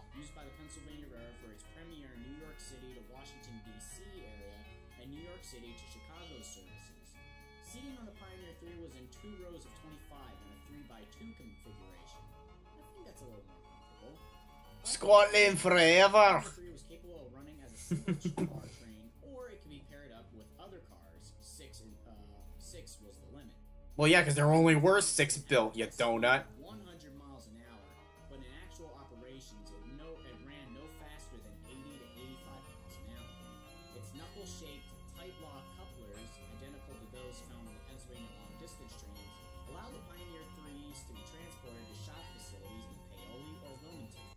This is also why um, the Pioneer 3s didn't last that long in SEPTA, because they all had the WABCO style coupling, uh, which was a lot different. So you couldn't uh, even though you could hook up a Silverliner 4 to like a 5 or a 2 to a 3 uh, or like a 2 to a 4, you couldn't really, uh, you could still, you couldn't MU it correctly, or at least for the 5s to the 4s. But with Pioneer 3s, you couldn't do any of that. You couldn't even MU them or couple them up in general. So. The original numbers were 150 to 155, with the even numbered cars having I post the numbers of the originals, and yet the photo is the renumbers. Ugh.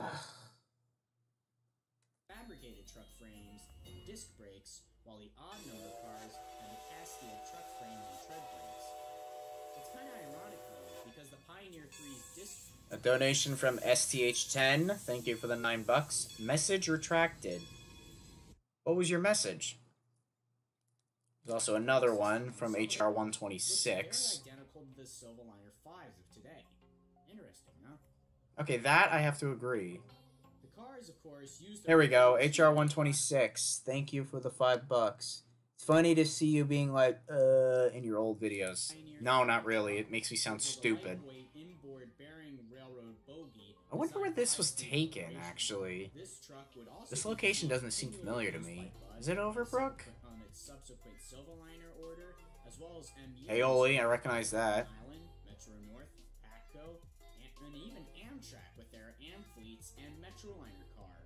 Okay, for the Amfleet bit, that's correct. But Amtrak did not buy the Metroliners. That was the Pennsy, and later Penn Central, not Amtrak. Get it right. also Dumb the younger me. style that the, that the Pioneer 3s had. The Pioneer 3 cars used a slightly different right-angle gearbox adapted from the very successful Budd-built PTC M3 cars. I don't know if that's actually an It set the M3. traction motors at a right angle to the axle instead of the more common lateral placement. The need for a larger traction motor was Yeah, you can see right here, perfect example. There's the knuckle coupling on the Pioneer 3. And there's the Wabco coupling on the Silverliner 2s or 3s, whatever. that- yeah, that's a 2. That's been used ever since then, up the, even the 5s. The 5s have the exact same coupling here. So, for a more traditional layout in the Silverliner 2 design, which we'll talk about later. gosh darn, you're harsh. No, not really. Pantograph and the control You really think this is quality? This is cringe. connected to an AC/DC rectifier. It doesn't look that different.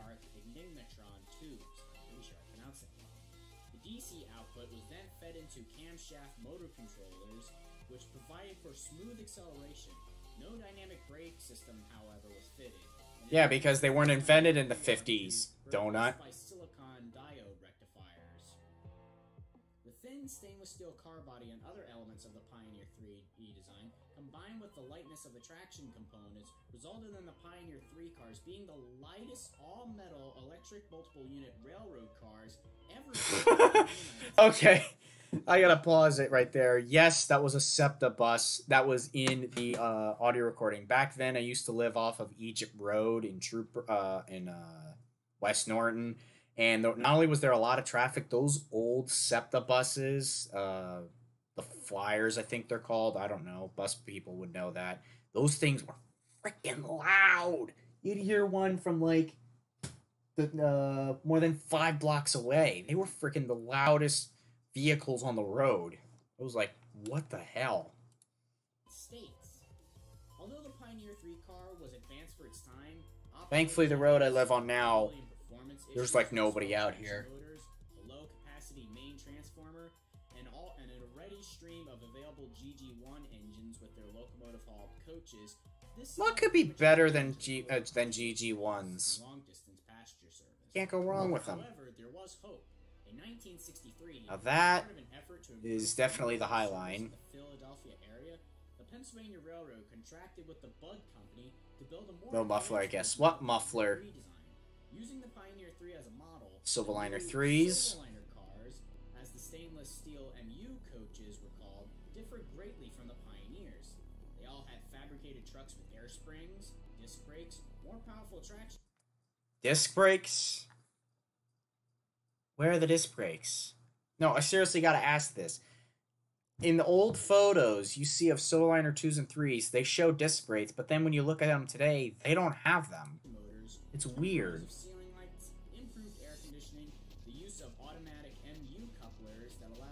Yeah. Yeah, look. There's the Silverliner 2s with disc brakes there. Oh, super chat. Ugh, excuse me. Damio C. Thanks for the five bucks. What is one subject you refuse to cover on the Train Act as in X years later series? I don't know. I don't know what you mean by that. I mean, I'm a little hesitant on the Mary J. Waltijla incident, but who knows? We'll see. Um, but yeah, look at this. Those are the uh, those are the Silverliner twos with disc brakes, as I mentioned earlier. But then when you look at them later on in their career,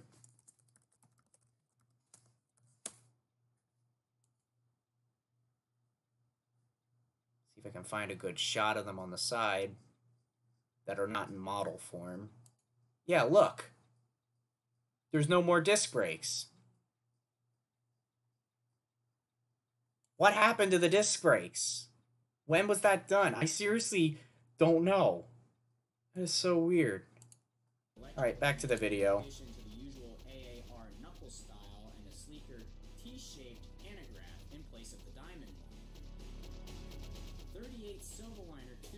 Oh, they had knuckle style couplings too at one point.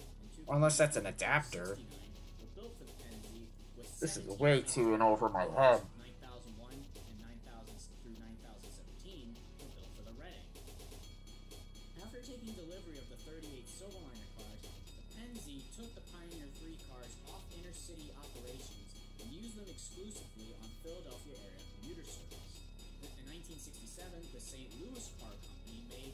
There you go, there's the Silverliner 3s. Again. We'll talk about these in another episode. Now, what about that demonstration coach we mentioned earlier? Okay, this bit was actually pretty fun to put together. The music and talking about it in general. Because I think nobody knew about this part of the Pioneer 3s. basis for the first gas turbine powered rail car of North America. The coach I mean, I went a little too into detail about it. was to be supplied to when it has nothing to do with SEPTA. But I really wanted to talk about the history of it, which I love. This was such a cool uh, topic to look up when I was uh, doing the video. The single entry vestibule was converted into the vestibule cab, but a second doorless. Ugh, CriticalPast. the kind of ser- uh, vi- media service where you have to pay to use public domain footage. Gross. Is that a Budd RDC?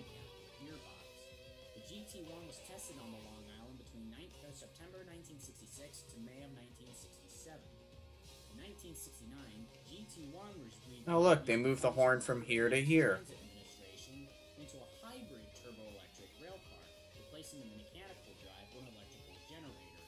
which provided over 4,150 horsepower. Reclassified again as DT2, the coach was intended to test gas turbine operation into the confines of New York Pennsylvania Station, and therefore was given the capability to draw power from the 700 volts DC third rail. There you go. There's those disc brakes again. DC chopper propulsion control. Pioneer 3 coach in the GT2 configuration was tested between So cool. During the delivery of the Silverliner 4s between 1974 and 1975, the cars were renumbered between 244 to 200. I got it right this time. 249 being wrecked and retired. at I could not find a photo of 249 being wrecked. Containing both the new cars and the existing newer cars. There goes another loud car. Push-pull train sets In the vidi- in the video, not on real life. Found itself possessing a sufficient number of twos. Hello, just peeking out the corner there. SEPTA found itself Sorry.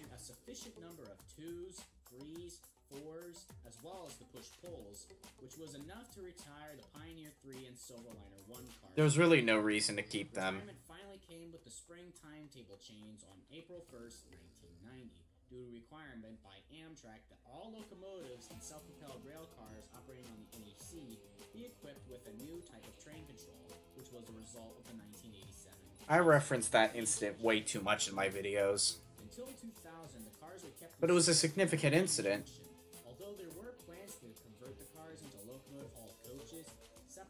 Finally decided to dispose of the fleet Caleb, that is right, because those were the old Reading numbers and the lack of AD. before they started rebuilding and renumbering them.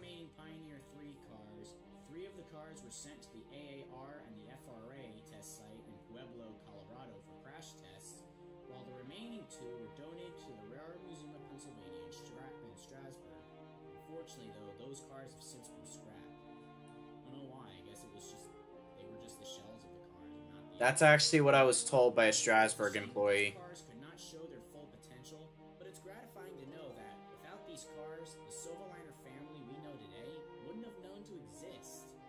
And it's also gratifying to know that with I just realized the Pioneer 3s had also had this, I guess, air filter system on the side. Guys, I don't remember the 2s or 3s having those. Huh. Learn something new every day. That's pretty much it for this video, though. Um, let's continue on in the history. Uh, ah, yes. Let's do uh some of our more famous videos. I let, let's see. I want to do either this one or that one, or maybe this one. Eh, let's let the chat decide. Should we react to the Crazy Eights video, the original Cajon Pass one, or 188? Which one uh, would you guys like to see? Let's have the audience engage this time.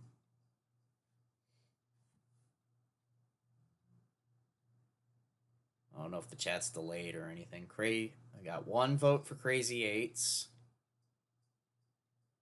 from that one guy. One vote for El Cajon Pass. Another vote for Crazy Eights. Oh, Bourbones. Cannon Pass. so that's two for Crazy Eights. Wow, getting a bunch all at once. Um. So far, it is between Cajon Pass or one eight or, or uh, Crazy Eights. Getting some votes for one eighty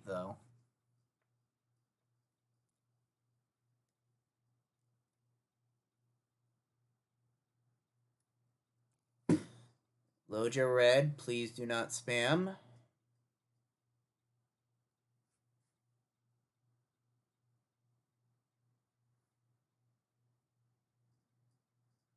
Jeez, it's really. I saw a lot, uh, e- uh, almost equal numbers between 88 and Cajon.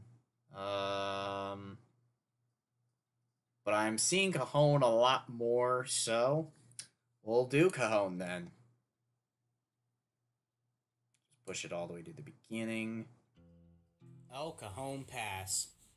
one of the most dangerous and infamous mountain passes in the United States. Located The track at the beginning of this video is copyrighted, but somehow I haven't been caught with it yet.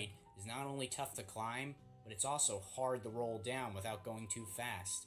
It's also the site of not one, not two, but three runaway trains. This is the story of the first one, where it all began. It's not El Cajon, by the way. It is just Cajon. I got a lot of comments for that one. On May 12, 1989, in the early morning, Southern Pacific 7551 East was making its way towards the grade. The train consisted of 69 hoppers loaded with trona, a non marine evaporative material mined as a source of sodium carbonate and sometimes used in fertilizer. It was hauled by a total of six locomotives, four leaders, and two helpers. Was it six? On the head end was SD40T 2 8278, SD45Rs 7551, and 7549. Fun fact um, I was watching this video, this documentary on SPSF and why it failed. 7551 was one of the very first Southern Pacific units to get the Kodachrome livery. Not really uh, hating on the video. I should have mentioned that in this version. I'll probably mention it in the remaster, but yeah, 7551 was one of the first ones to get this livery. And to be honest, it's actually one of my favorite liveries. SD45Rs 7551 and 7549, and an SD45T 2 9340. On the helper end was SD40T 2 8317 and SD45R 7443. The crew called in to handle this train were Ooh, look at that 33-year-old engineer Frank Holland, 35 year old conductor Everett Crown, both in the lead unit, 43 year old brakeman Alan Reese, who was in the third unit, 42 Ooh, look at that snooty nose. Didn't know they had snoot 42-year-old nose tunnel. engineer were the tunnel Hill, and uh, 57 snoot noses? brakeman Robert Waterbury, who were both in the helper unit 7443.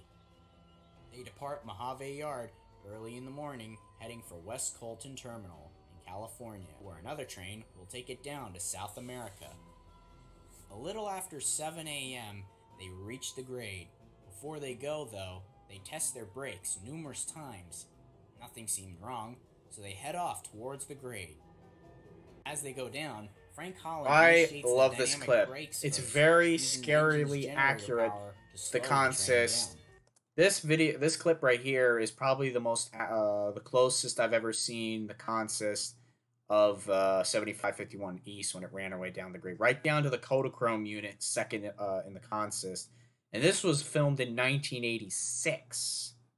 Or no, 19, yeah, I think it was 1986, quite a few years Speed limit before for the, grade, incident. after all, is Or was it 29 miles an 88? I can't On the remember. plus side, the But it was still pretty cool. 56 times. Except it was a so manifest. helps slow the train down. Still, they apply their air brakes to hold it at a constant 25 miles an hour. That's exactly where Holland wants it, since that's a safe speed. But then something odd happens. Despite the air brakes, Brakeman Crown notices that the train is That'd be creepy if that's up to 30 7551 in that video. Slightly speeding, but then it creeps up faster. Runaway train, cu- 35, uh, runaway theme 40. cue here. 50, even 65. Sped up video clip. Try and throw it into emergency, which kind of works, but it's not enough. The brakes begin to burn up, and the train begins to fly down the hill as fast as 90 miles an hour. Way too fast. At this point, the engineer wasn't even in control anymore. He and the rest of his crewmen became passengers, and gravity has hijacked the controls. Oh, that's so bad, the Call ahead to narration. West Colton Terminal, informing them about their problem. Then Frank remembers that there's a set of houses at San Bernardino, right beside a curve. It was right there that the crew lost all hope.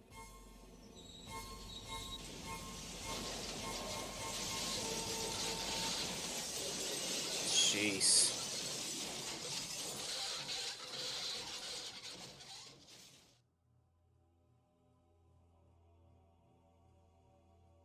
Locomotives jump the tracks, and the hoppers tumble down behind, plowing through the houses like nothing. The Trona spills everywhere, covering what wasn't crushed, like a sandstorm had just went by. Literally every car and every engine jumped the track. People were still having their breakfast or taking a shower when this rude awakening came through their neighborhood. Okay, calm down. When the dust Relax. settled, the site was a complete mess. People feared something like this would happen, and now that nightmare was reality. Some people were even buried in what was once their homes, even as I still have to ask though, you know, a little bit of a side rant. Who the hell thought it was a good idea to put a housing development at the bottom of a steep grade on a sharp curve? Like, are you just asking for trouble with how close those houses are? Even I think that's too close. swimming pool know. was no match for the train. Well, of course, a swimming pool's not going to be a match for a freaking 7,000 ton train, you donut. The lead engines that suffered the worst damage laid upside down or on their sides, still smoldering. You can see parts of While 7551 the there. two helpers were mostly upright from the crash. Eh, slight rear end damage.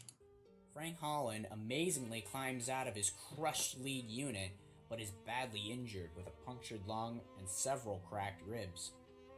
The two crew members in the helper unit were lucky and escaped very serious injury. Since they were at the back, it received the least amount of force when the train came off the track. They desperately called dispatch for emergency services.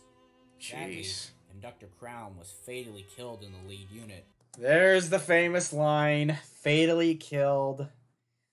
Oh, that is such a meme now in the community. Ugh. He fatally died, I guess. I don't know, but that's just, uh, what was I thinking? I don't even know where I got the term fatally killed. I, I don't know. It wasn't. I, don't know. I really don't know where I got that term. It's stupid. along with Alan Reese in the third.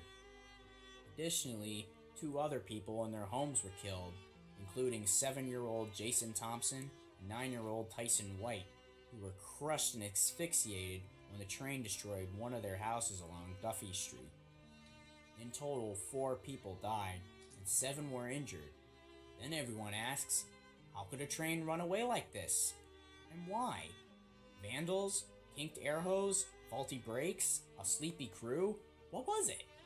Well, before that could be an- Oh, add cab damage to 93, uh, 9317 too.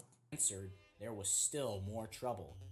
No one Why did I put heartache underground at this pipeline part? buried six Why did I put heartache at this part?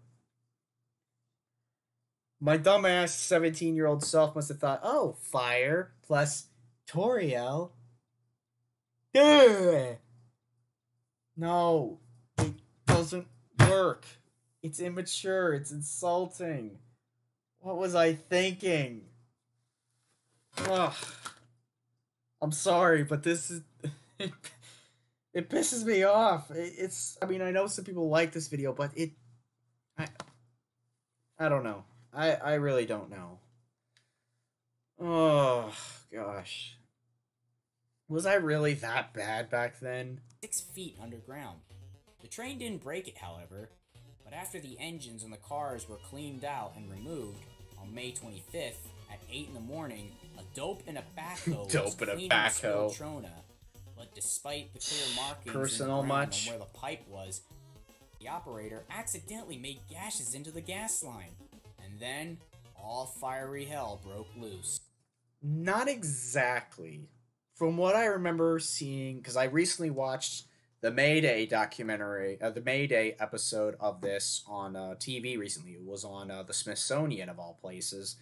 Um, in that video, it said, you know, the gashes were made, but it took a while before, you know, that gas line eventually burst. And at first, it was like a liquid but then eventually something, probably a cigarette or something, caused it to start uh, start a fire though. But uh, yeah, it wasn't caused when uh, the fire didn't start when the gashes were made. It was just it was over time. at least that's what I remember from watching the video. I'll have to look that up when I remaster this. The gas leaked and caught fire, destroying 11 more houses, 21 cars, and brutally burning two residents alive in the inferno.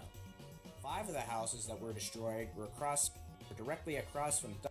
Ugh, there's a bad audio cut right there. And going back to that Mayday video again, it's good. Don't get me wrong. I that episode's all right, but I hate the um the uh, sequence leading up to the accident because the thing is, they have the helper crew going Mayday, Mayday, Mayday, and I'm like, you're an you're a freaking train, not an airliner. Nobody says Mayday on the railroad. That's not an actual term, or maybe it is. I don't know, but it was just stupid. Anyway, Duffy Street. this is the most unfitting crushed by the music. Exactly. another was the only I don't know what I was thinking. on Duffy Street, and that was still fully intact after the crash, but was destroyed in the fire. Four more houses received moderate smoke damage and fire damage, while three others only had smoke damage. That's an eerie Fire image. burned for seven hours, sending plumes of heavy smoke into the air until it was finally brought under control. Total property damage was over $14.3 million. Interestingly, more of this damage was from the fire instead of from the train accident. Okay, that's actually Huh? true. And even though there were more fatalities in the derailment, it's still kind of interesting. In Okay, shut up. Now six people were dead from both incidents combined. Now the whole area was like a true war zone, residents were both horrified and furious. What was next to come? The water main breaking and then the whole street floods? Thankfully, that didn't happen. Why did you mention that? After months of investigation, the FRA and the NTSB found out that before leaving Mojave Yard on May 11th, that upon the crew boarding the train, it was discovered that the original head unit, 7551, Bad and the locomotive the train was named after, Wait a minute. When did they do this? I don't remember any of the actual Kodachrome engines getting the full SPSF treatment. Huh. Is that Photoshop or something? That is interesting. Well, continuing head the video. 7551, and uh, the locomotive the train was named after, was totally dead and couldn't start. And the crew were then instructed to take 8278 from another consist and add it to their own, ahead of the dead 7551. Why did I add that fart also, sound? the weight of the train was severely underestimated. Okay, And the wrong tonnage calm was down. given to the crew before they left. They were told the train was 6,151 tons. It was for promotional photo shoots. Oh, good to know. 8,900 tons after another dispatcher found the correct measurement. Plus, Oh, listen to those dynamics. Two units had fully operational dynamics, with 7551 still totally dead of everything. This was put together sloppily using Microsoft Paint, as you can tell. but its own air brakes. 7549 had traction current, but no dynamic brake current. 9340 had dynamic brakes that were rather wacky and had limited power. 8317 on the helper end also had no dynamics. Thus, among the four locomotives in the front and the set of helpers on the back, only 8278 at the front and 7443 at the back had fully functioning dynamic brake systems. Although this dispatch didn't know. Neither did the head end, which was something the Mayday video uh, pointed out. Because the guy in the helper crew, he said he was in full dynamic, but he was in 8317, which didn't have any dynamics. So, yeah, why would he say that if he if he didn't have working dynamics? That's definitely giving me a lot more to think about for the remaster.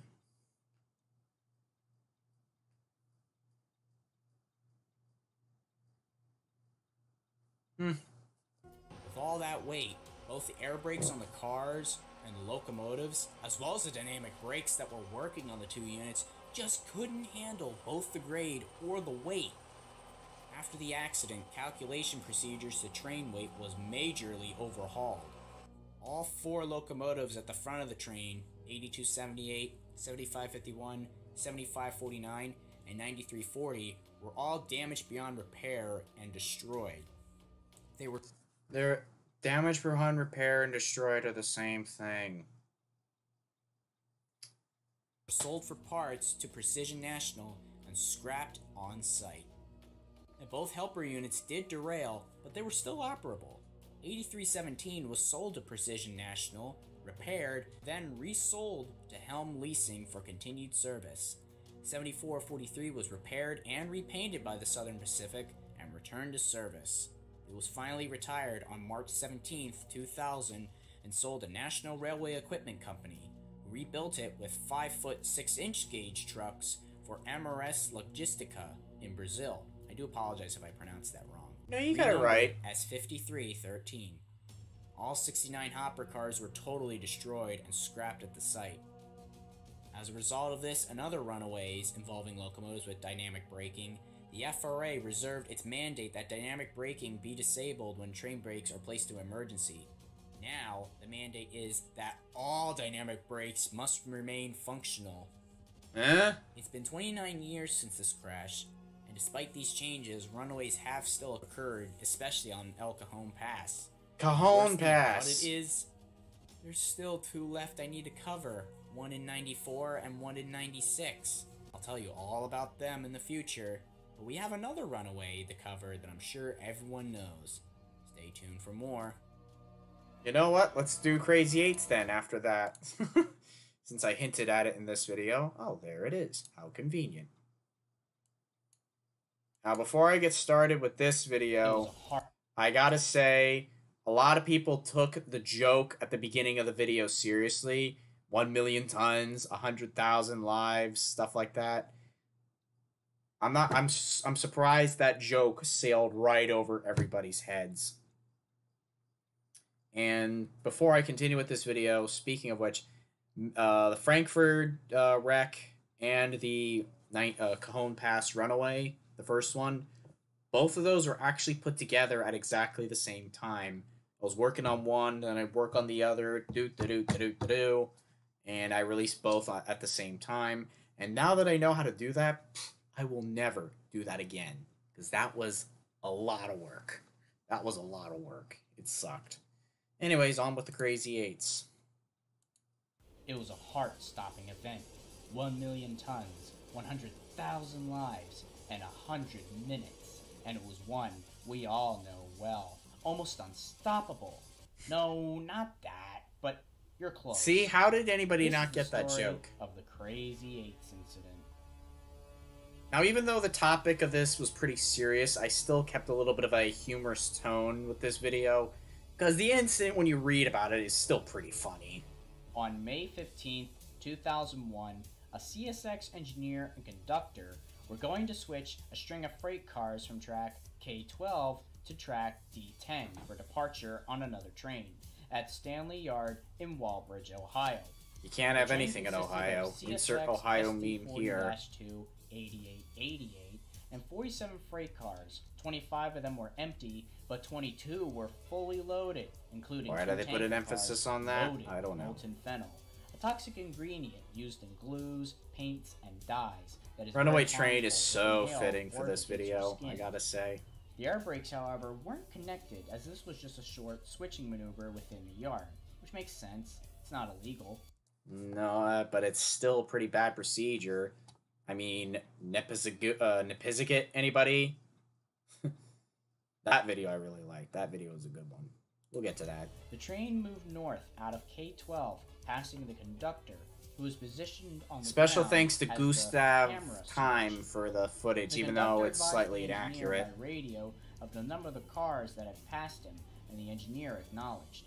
With eight cars to go, the conductor notified the engineer by radio to prepare to stop. Reply. The conductor tried again when four cars remained. Still nothing. He then ordered the engineer to stop, but again there was no response.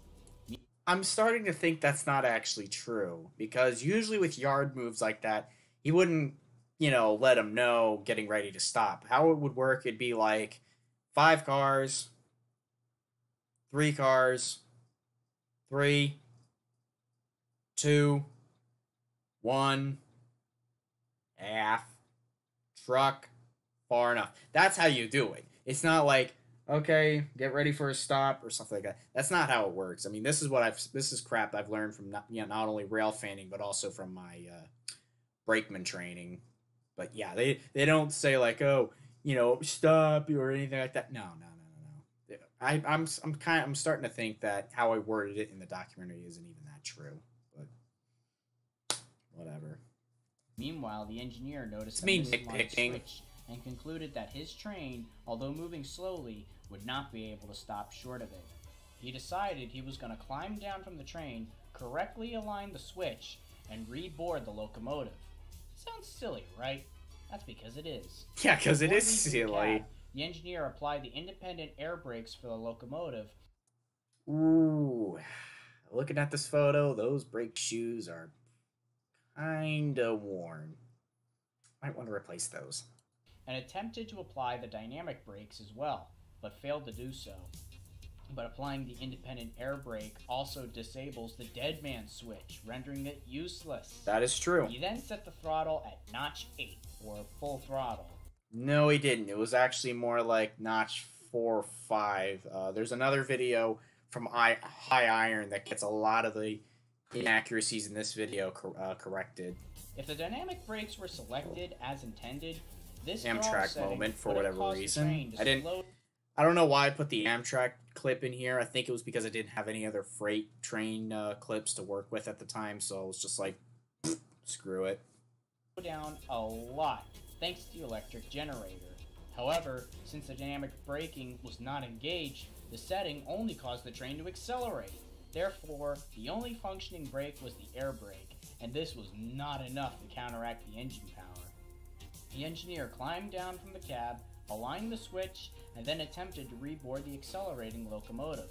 He was unable to do so, slipped and fell, and was dragged about 80 feet from the train, receiving minor cuts before he had to Ouch. let go. Now, with no one on the train, it becomes a runaway, escaping. This is the only the video line, accelerating At the, this is one of the only videos where the runaway theme is ran to Another appropriate. employee who had a radio, and he called the yardmaster, who promptly notified the Stanley Tower. Oh, two donations. And the train master. From Stick and Garrett Harry. Located in Yep, Stick and uh, Garrett Harry. Thank you for the two bucks and the five bucks. Wow, ten years. That's crazy. Great job. Also, here Crash. Garrett Hayes says, "Have you ever played Choo Choo Charles?" No, I am not playing that. Was also notified. Branch train dispatcher located in Indianapolis was also notified. I still do not know how to pronounce Indianapolis. I don't know. I probably just made everybody in Indiana just cringe with the pronunciation in that video and right now. Is it Indianapolis? Indianapolis? I don't know. I'm a Philadelphian. I know how to pronounce towns like Conshohocken, Royersford, and stuff like that, but Indianapolis, I guess, I just, I just can't. Ugh. The train was now proceeding southward on the Toledo branch, also known as the Great Lakes Division. At Galedia Siding at approximately 1:35 p.m., the train dispatcher remotely operated a switch for the train to enter the siding. A portable derail was there, ready to derail the train and stop this runaway. However, it was thrown clear from the track by the force of the train passing over it, and the train sped on like nothing had happened along the tracks. I'm not sure how that actually work. I'm not sure how that actually would happen then. Then local police come up with an idea shoot to kill. The idea? Use a buckshot on a rifle Buckshot is a shotgun thing, not a rifle thing. You even see the guy, uh, the trooper shooting a shotgun in the next clip. Ugh. to hit a fuel shutoff button near the fuel tank. But guess what? Don't work. Has to be held in to actually do anything. That was put together via um, uh, uh, Audacity, and uh, that, that wasn't uh, effects using Ado- um, I don't know. it was still funny. rather than pressed for a millisecond by a bullet. By the way, he also missed. That was another thing. So Crazy 8 speeds on a little bit. A few brave locals tried jumping on board the locomotive, but they chicken out as they realize she's going much faster than intended. Meanwhile, northbound train Q Random Megalovania moment. was directed by the dispatcher Underswap Megalovania, to be precise. Ohio. The crew was instructed to uncouple their engine SD40-2 8392 from their train and wait until the runaway passed their location. Sure enough, at approximately 2 As you can see, the simulation is not 100% accurate. They portray 8888 as a nose light SD40, like a seaboard one when it was all the way up here, like the Conrail ones. And 8392 is facing the wrong way. It, it came, it hooked up to the train backwards, long hood forward, not uh short hood forward. 05 p.m., the runaway train roared past the siding, and after the switches were realigned, 8392 chased after the runaway. Now this was fun to put together. It's probably my favorite part of the video. Even if it is slightly inaccurate, but it's still cool.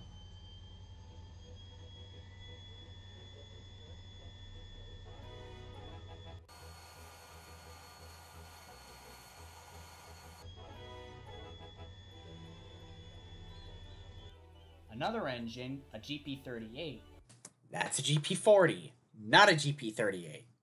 was primed and ready ahead of the runaway to couple up to 8888 and push her back. The idea seemed dangerous, but was carried out nonetheless. Side rant, this is one reason why Unstoppable is not a favorite movie of mine, because in the movie they make it as if the you know putting an uh, engine on the head and coupling from the front is the first idea. No, no railroad would do that unless it was a last minute thing. Even CSX knew that. They only place it in front in case 8392 couldn't catch up to it. Eventually, 8392 finally Thank you for the 10 bucks, Robert Vance, once again. This is most likely my last donation for the stream as I'm going to Betty Buy in time a little bit. Ah, it's perfectly fine. couples up onto the runaway. Thank you. At Kenton. You've done quite 51 enough. miles an hour. Yeah, you can see in the video, in the simulation, they have it as the short, hoo- short hood connects to the train. It was actually the long hood. and carefully apply the dynamic brakes, hoping the couplings won't rip apart from the force. Now, this edit was off, really and cool. the train slows down to 11 miles an hour, and positioned at the Route 31 crossing was CSX. Like how, like how, John like how smooth. That that was such a smooth the transition. crawling locomotive and climbs aboard. There, he immediately shuts down the engine, and finally, the Crazy Eights comes to a gentle halt. After nearly two hours and 66 miles of running, the whole thing was finally over. And the GP38 further ahead wasn't really needed anymore. 8888's brake shoes were completely burned off, and it was found that the air brake on the locomotive was in full service braking mode, and the dynamic brakes were working but not set to braking mode. In the end, the unnamed engineer, who was first hired by the Pennsylvania Railroad in 1966, promoted to engineer by Penn Central in 1974, There's your problem. and a check ride with a supervisor in January 2001 with Thank you for another five bucks. CSX 88 just went nope for that shot. Pretty much. clean job record was fired from CSX. 8888 had its brake shoes replaced and continued service for excuse years. me. Sadly, several museums attempted to preserve the locomotive for its historical significance, but CSX stated themselves that the engine just wasn't worthy for preservation. It's because they're too embarrassed by the accident. That's why. That's why they didn't preserve it.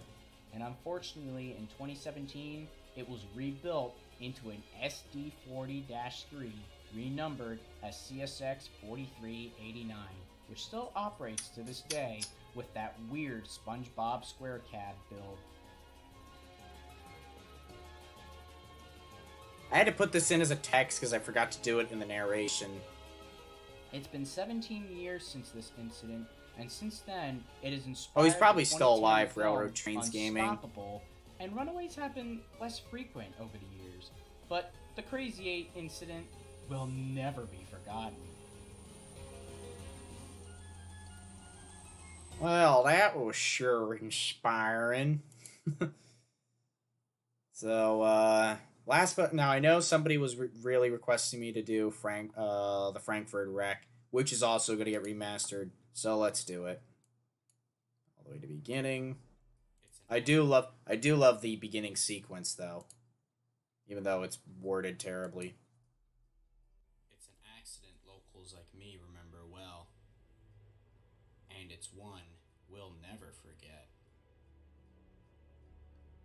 Only a 40 minute drive from where I'm sitting right now, I still get the chills as I go over that same curve where it all happened.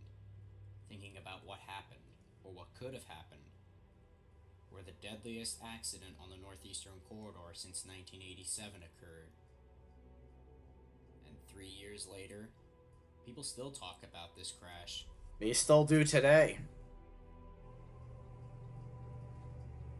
This is the story of Amtrak 188.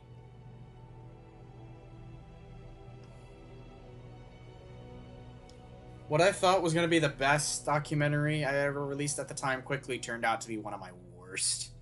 This one really needs a remaster. Maybe I might do this. I- would do a remaster of this at the same year, 12th, but 2015, I don't want to do what I did Regional before, 188 working on two documentaries at the same time. It's just way too much work. train had seven Especially with my lack of free time. By ACS 64 601, which was only a year old at the time and one of the first ACS 64s Amtrak received. I don't know why I used 32-year-old uh, Spider Dance. Was the engineer that day and had worked on the route for a few weeks now. It departed 30th Street Station at around 9:10 p.m. with its next stop. I unfortunately cannot find this variant of the Runaway line, theme anymore. Trouble. A SEPTA train It's also the most unfitting music I've ever used in my videos. Also, Axel Wayne and Joy to Rail Media, please settle down. Don't think I can't see your argument in the chat. If it continues on, you two are muted.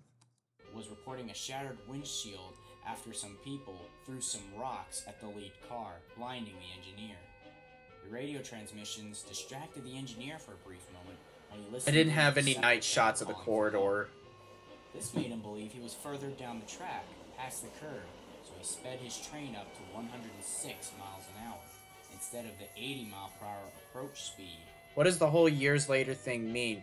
That's just to show how late, how long ago I told the story. The speed limit of a Now, the sound design leading up to the accident, I actually did use stuff like, you know, the audio recording inside an ACS 64. This was so much of a pain to sync up correctly, but it definitely paid off in the end.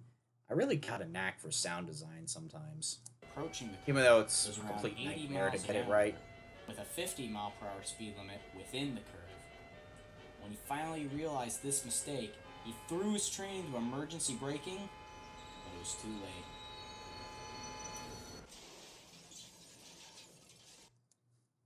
You know, I just re- wondered. I just remembered. You notice how when he goes into the curve, the lights, which look like they're at, you know, the ditch lights are off and they're just in, uh, but they're still in, you know, high beam mode. When he goes into emergency, you see a lot more brightness before he tumbles off the track. I wonder if setting the train to emergency stop also turns on all the front lights minus the marker lights on the AC on the ACS 64. I never thought about that until now. That's interesting. Finally realized this mistake, he threw his train into emergency braking, Yeah, watch. See? too late.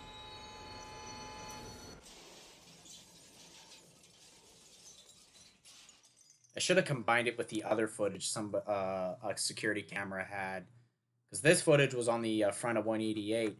There was another angle a security camera took of the accident happening off screen. I should have combined that rather than just going into a uh, blank screen. I'll take note of that for the remaster if I ever make it. Car standby, 24th, 2095, we Chief Lane, getting a priority, one local people trapped, got a report of a train derailment. Also a person screaming. Accident 24th. I tried to sync both the police and fire dispatches at the same time, but it quickly turns into a complete garbled mess.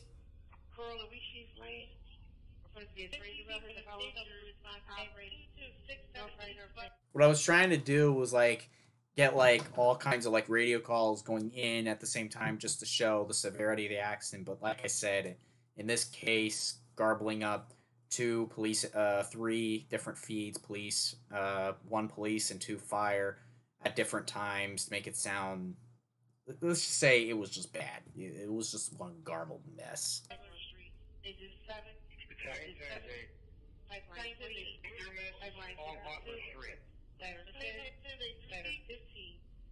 Engine 13 here, Unit 1 responded. Affirmative. I'm just gonna skip it because it's just so bad.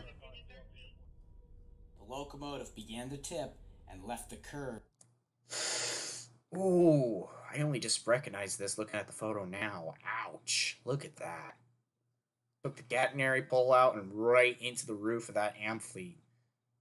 Just inches away from the windows. Good grief. I can only imagine what would happen if there were people sitting there. Ugh. at over 100 miles an hour. The Amfleets tumbled behind, and some of them ripped apart from the excessive speed as they came off the tracks. Catenary wires were also damaged when the rear pantograph lost its connection to the wire and was flung clean off the roof of the engine. Finally, after the roar of the crash subsided, I think this was the actual 911 I think this fire truck was actually responding to 188 incident, if memory serves me right. I wasn't sure, but it was cool to use. on the way. When they arrived, some of the lightly and unhurt passengers. Eh, when they arrived on the scene, some I don't the know why I didn't cut that out. Passengers helped haul away the more seriously injured passengers. Brandon Bostian suffered a concussion after his head slammed into the dashboard of the locomotive. Maybe airbags should be put into the cabs in the future. No, too much of an expense. Philadelphia Mayor Michael Nutter said that the wreck That was guy was nuts. disastrous I hate that guy. and he was very stunned at how many people were able to walk away from such a violent impact. Oh, I'm sure. Politicians. Pennsylvania Governor Tom Wolf said that anything that the state can do, we stand ready to do that Yeah, right. You're a joke, too. to help out those victims. Amtrak was deeply saddened by the loss of life from the accident, Well, of course they would. And President Barack Obama even gave his condolences after the wreck. You really think politicians care, though? That's kind of one of the reasons why I used that photo, even though it was pretty tasteless and not uh, unnecessary to put my political views in it. saying that he and Michelle were shocked and deeply saddened to hear, and their thoughts and prayers going to their families. In the end, eight people died, and over 200 were injured. It was the deadliest accident on the Northeastern Corridor since the 1987 Chase, Maryland incident. Then there's the question how can this happen, and why? Well, Ugh. More unnecessary Undertale. I don't know if I can continue on with this. I don't know if I can continue on watching this video because it's just so bad. Oh, so bad. I mean, we all have to start somewhere, but I mean. like I said, back in the day, I didn't know what I was doing. You know, I thought, you know, what I was doing was right. But when I look at it now, it just really, really makes me cringe. I'm sorry. I know some people like, and some people say they like it, but looking back at it, it was just like, why did I do this? Why did I do this? I mean, why? Hmm. well, when Brandon Bostian heard the SEPTA train call in, he You can barely even you can barely even hear me over this. He lost all situational awareness of his location, almost like he was lost. He thought he was past the curve at an area such as Croydon, where trains increase their speed to 105 miles an hour. That actually is Croydon. There you go. Brandon Bostian's lawyer and Bostian himself even stated that he knew very little about what happened before the crash leading up to the impact, thanks to that nasty concussion he sustained when his head hit the dashboard, which would have been like a head on collision with a car in the passenger seat without working airbags. Durr. And also, look at that Conrail vest. But then again, this is a CSAO yard, so it makes sense. Unlike previously discussed crashes, Bostian wasn't on drugs, wasn't an alcoholic, or had any terroristic or suicidal intent. Heck, Freaking ISIS flag. but they are a terrorist group, so I'm not apologizing for that. He wasn't even using his phone or staring at trespassers or the occasional foamer. What? He simply just forgot where he was. And some say 601 was possibly hit by rocks. Ah. I can't continue this. I'm sorry. It is just that bad. It is just that bad. And then the PTC promotion. Uh, you know what? I still have to continue. I'm forced to. But most likely, those were loose ballast rock flying right into the engine's nose as it derailed. Yeah, that's an interesting theory that people still discuss. Did people actually throw rocks into 601? I'm more believing that that was just ballast rock throwing up at the top, but then again, how would they be able to reach up there? But you believe what you want to believe. and plowed off the tracks. Not to mention, this isn't the first time a train derailed by this spot. In 1943, the Pennsylvania Railroad Congressional Limited derailed nearby the very spot 188 crashed when a hot box occurred on the seventh car of the train, derailing all the cars behind. That wreck killed 79 and injured 107. I gotta make a video on that one day. Time to tackle the elephant in the room now that is still subject of debate today. It's been argued that the curb should have been equipped with positive train control, which works a lot like I mean, I love Undertale, don't get me wrong, but it just has no place in these videos. the train protection and warning system used in the UK. It uses GPS to know where a train currently is, where it's going, and how fast it's going, which is sent to the local dispatch center. C-Tech In this case, moment. CETC, or C-Tech, located at 30th Street Station. All right, side note here. Um, I remember watching the Pentrex DVD of the Northeastern Corridor, and I was like wondering because they said I think they mentioned that the these things had touchscreen, and I was like thinking to myself, how the hell do you make a touchscreen out of a CRT? Is that even possible? If anybody, uh, if I'm sure the boomers in the comments could definitely uh, explain that for us. Over to you guys. Located at 30th Street Station. When it detects the train is either approaching a red signal, going too fast past a yellow, at risk of colliding with another train, possibly a runaway with no engineering control, or if the train is about to hit misaligned switches switched against a train's path, it gives advanced warning to the engineer, usually heard by a series of beeps like this. Okay, that actually is PTC. At least I think it is. This will give time for the engineer to react accordingly, but after a set amount of time, usually 10 to 30 seconds, the train automatically goes into full emergency stops where it's at and locks the controls unless it's reset. I don't know if it actually locks the controls. It just puts you into an emergency and penalty application. The deadline for such a system to be installed was at the end of 2015, according to Congress. Yes, it should have been a little sooner.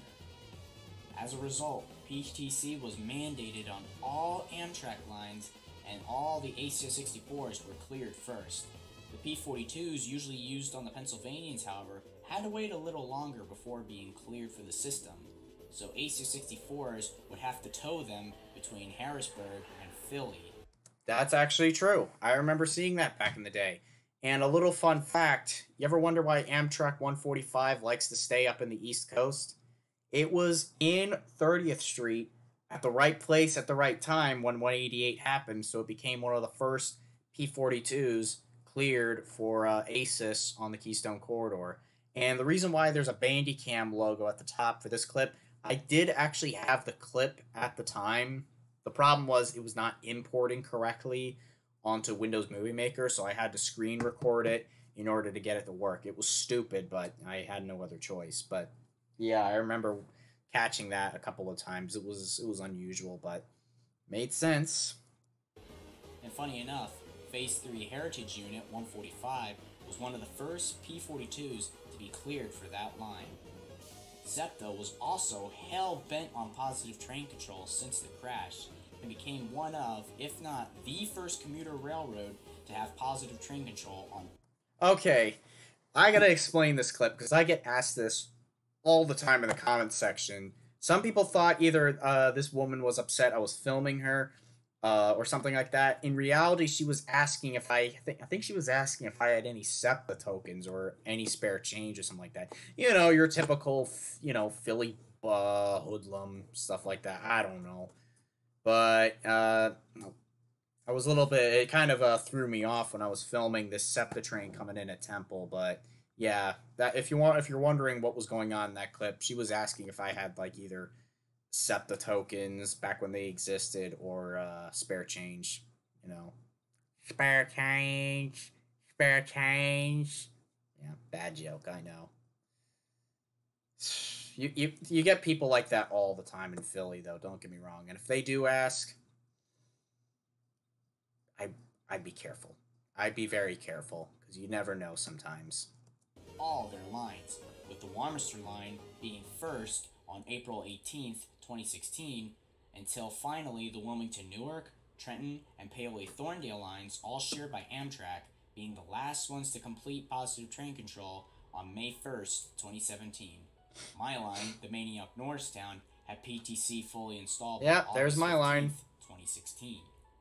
Positive train control would have likely prevented this crash, although to this day it is still debated, even among rail fans like myself. Yeah. In the end, ACS 64601, which was thought to have been put away for repairs, as stated in one of my older videos, but That's now true. it's been confirmed it 601 was deemed damaged beyond repair.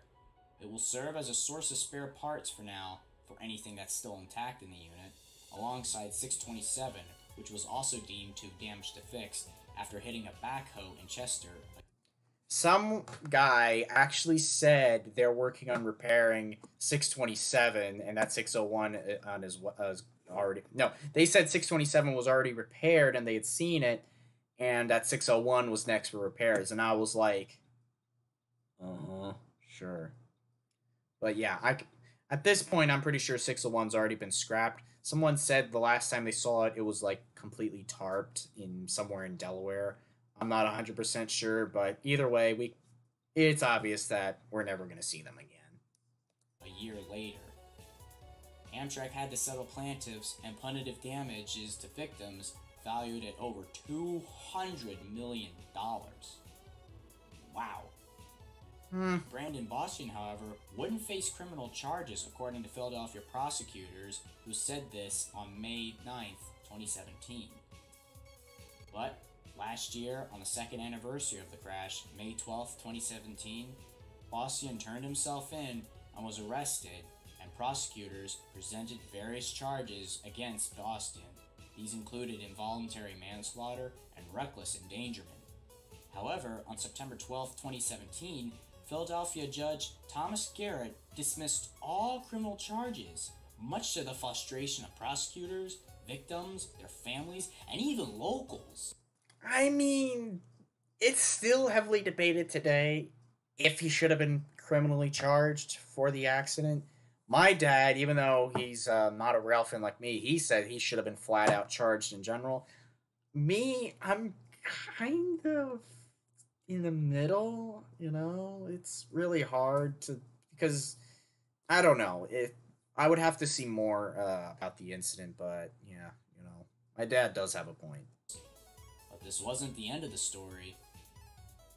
On February 6th of this year, after an appeal by PA's Attorney General's office, the case was reopened and the same charges were brought against Bostian again. Got a qu- comment. Look at this guy's face with the camera. I don't know. It just looks silly. The guy with the camera. And we still do not know what the ruling is so far. I can give you an update. He's been acquitted again. And then again, the, a good point some people even listed is why did they charge uh, charge him for the same stuff already when that's against uh, one of the amendments because it's a double jeopardy, which is a really really good point. I'm not sure how they. Well, then again, politicians and other people in power get away with crimes every day, but we're not allowed to do it. It's it's really ambiguous. But It's been three bull crap aside, who cares? But some rail agencies are still struggling to install positive train control due to its cost and complexity, including New Jersey Transit, who is already in enough financial trouble with the lack of cars, leasing MARC coaches, and the lack of funding. Thanks, Christy. Yeah, I, I'm sorry. There seems to be a stigma again between SEPTA and New Jersey Transit uh, f- uh, rail fans, where one hates the other. You know, SEPTA's bad. No, NJT's bad. Nah. it's pretty stupid, but I mean, I couldn't help myself. But yeah, even my cousin, uh, who lives in Jersey, he hates NJT service as well, and I don't blame him. Amtrak even threatened to ban SEPTA ain't any better, though. To Trenton on Amtrak trackage if they didn't get PTC installed on a certain date, and they're still struggling to do that as of February 16th, 2018. Issue's been resolved. That's without mentioning the Hoboken incident that happened not too long. I've been ago. requested to do that video eventually. I still get the chills as I go over that same curve where it all happened, even on a SEPTA train. But knowing the lesson, but knowing the lessons we finally learned after this incident, we hopefully shouldn't see another crash like this. Hmm. That is true. This is the exact location. And I do still do that.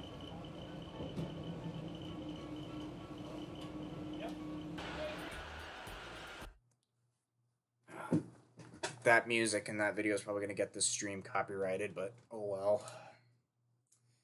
But yeah, that was 188. Probably one of the worst doc. Now, now that I think of it, this was probably one of the worst documentaries I've made. Not as bad as the Silverliner video one that I've since got rid of, but yeah, it's it was bad. It was very bad. I'm not even gonna lie. I'm not even gonna lie. It was bad. Now, why don't we look at something that's a little bit better and stop torturing myself? Let's see. Gotta find my place where I was again. Um. Oh, oh, D- Diff, Danny in the Hall. This is a uh, not many people probably knew about this, but during high school, um, my throughout my senior, uh, junior and senior year in high school, mainly my senior year, um, me and a good friend of mine named Danny we used to do uh, host this show called uh, Danny. The show was called In the Hall, and every year um, it would basically play every Friday. Uh, usually play uh, once every week, usually on Fridays. There were two of them this year. Uh, it would help you like. All right, let me try and re- uh, re-explain it. So basically, our school has like a TV program where we do all the morning announcements instead of you know the principal doing it over the PA system because you know it gives you know guys like me a little something to test out our future careers with. But um yeah, um one of the fun series we uh, used to do sometimes is Danny uh, is a is a in the hall and every year that it would change to a new senior uh, pair to do them. In 2018, which is when when I became a senior, it was two hosts. It was Zach in the hall and Danny in the Hall or Diff, and that's uh, where I come in because uh, I was the co-host of that. Danny was usually uh, in front of the camera. I was usually behind, but we'd switch every so often. And let me just say, that was a lot of fun. That you know, even though my high school years were a bit of a uh, roller coaster, especially my freshman year, where I was really depressed. Senior year, I had a lot of fun. This series was a lot of fun to be uh, put together. Uh, even though it's a, it's since ended, I still keep in contact with my friend Danny because I usually like to help out with him sometimes on his college projects. He's he was a really fun guy, and like I said, a lot of my editing skills, like the keyframing that I mentioned earlier with Adobe, I actually learned from putting uh, these episodes together. It was a lot of fun. So we're gonna watch one of these set episodes. It's gonna be the one I mainly put together. Uh, you can probably tell which one that is which is this one. I mean, we used a lot of old equipment for the videos, like those old suitcase cameras, but trust me, I had a lot of fun putting these videos together.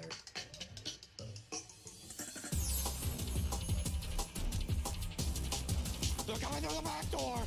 Oh, Anchorman reference.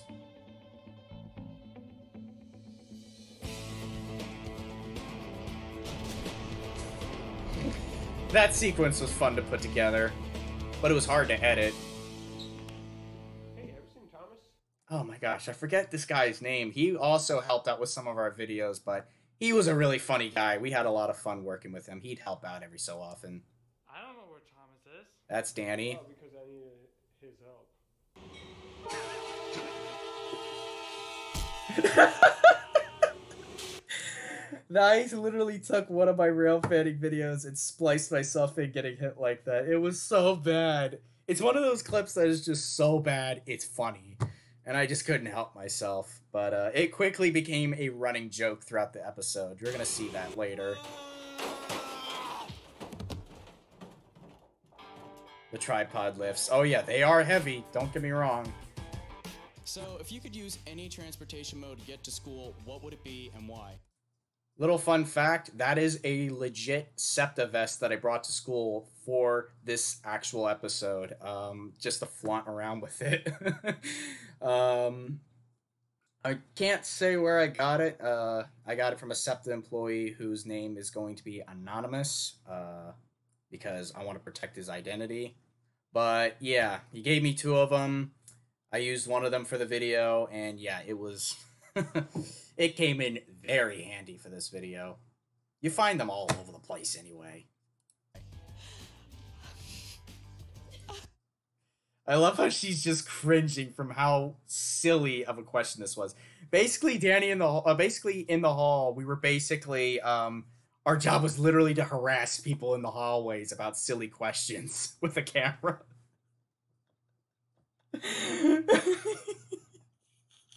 but it was fun. It was fun. I gotta admit, it was fun. oh, it was bad, but it was fun. a submarine. There you go. Would ride a bike. Simple bike, putting your own muscle into it. that was my friend Danny uh, using uh, one of the studio microphones, just going, and then just having a little clip art of the bike going by. Oh man, like I said, we we really went rampant with this with this series. Uh, it was just ra- it was just pure randomness. The trains. Trains. There you go. There's the running joke. You're gonna see that if you could again. Any transportation mode to get to school besides like a car or a bus, what would it be and why?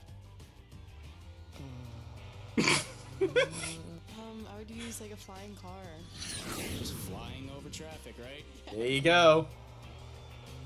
I would fly. That's one of my things I want to do. Uh, and my smart That's true. superhero power is I would be able to fly myself. Uh, a thousand pigeons. So I Probably the most creative answer we ever had. Like first off, you're already flying, so that's cool. Second off, you have a, you have a thousand pigeons to just attack anybody you want.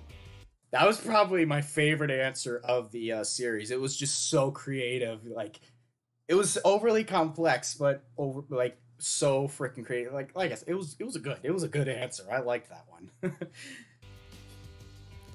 you find freaking pigeons all over the place in freaking Philly. Just go to Philly or New York in the center uh, in the center square. You'll be surrounded by the bastards. A bike? Me? I'd probably say hoverboard. Yeah. Not one of those stupid things with two wheels. Like Not those things. Off the ground. Back to the Future. There you go. Like in Back to the Future. Exactly. Exactly what I was thinking. No, not Segway. Yeah, Segway. No, actually, Segways are cool too. Probably use that.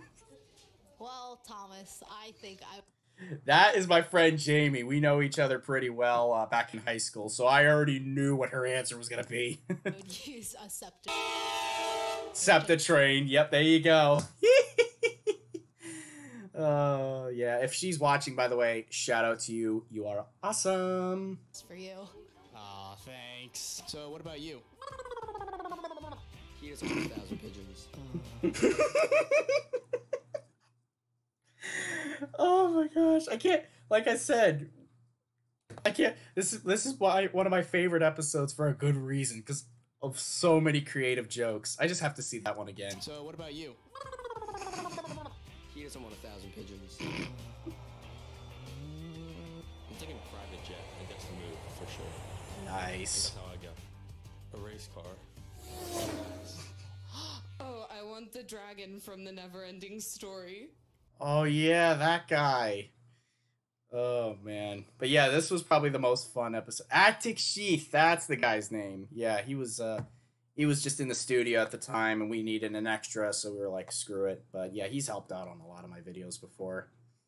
So yeah, that was the uh, probably my favorite episode of Dith. If you're curious to see what I was like in high school, definitely go check it out. Uh, check out the whole series. It is it was a lot of fun to work on that. Um, Chores is another favorite of mine. We'll, watch that one.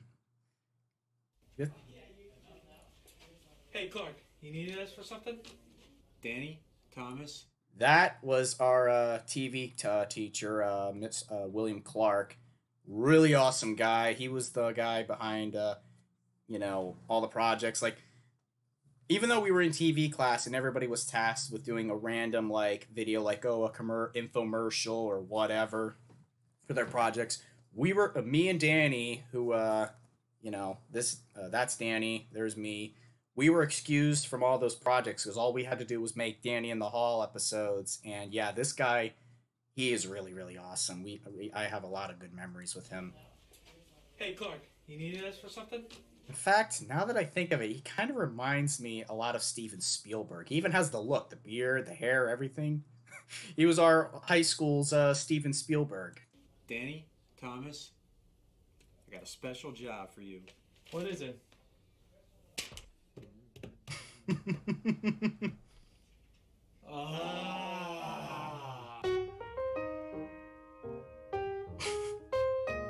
It's so simple, but it was such a great idea.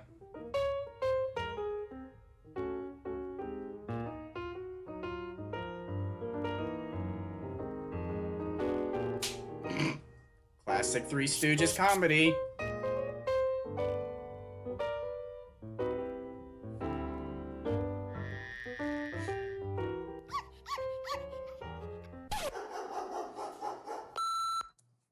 Trust me, small dogs are way more violent than you would think.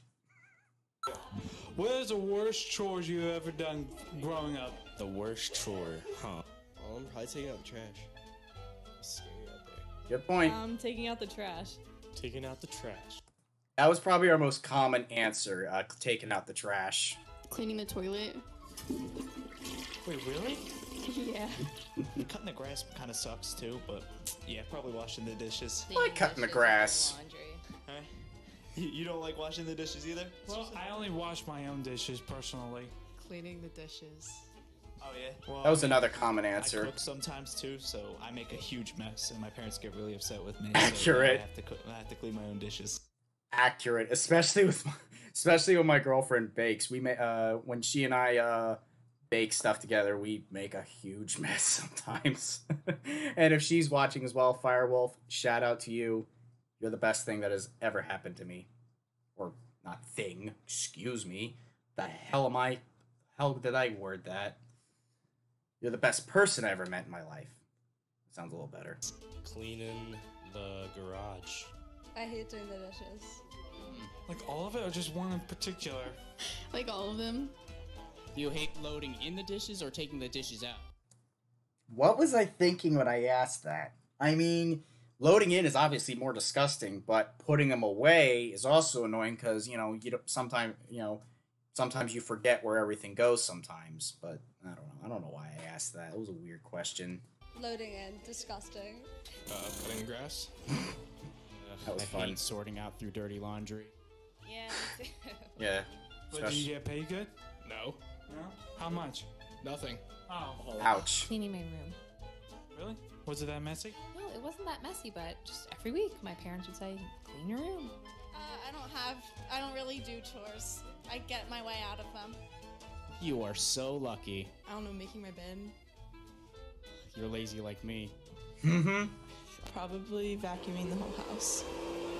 Vacuuming? I love vacuuming. I'll admit, yeah, vacuuming was one of my favorite chores, especially as a kid. I still like doing it today. Unless said vacuum decides to be a pain in the butt. Like a dirt devil. I hated dirt devils.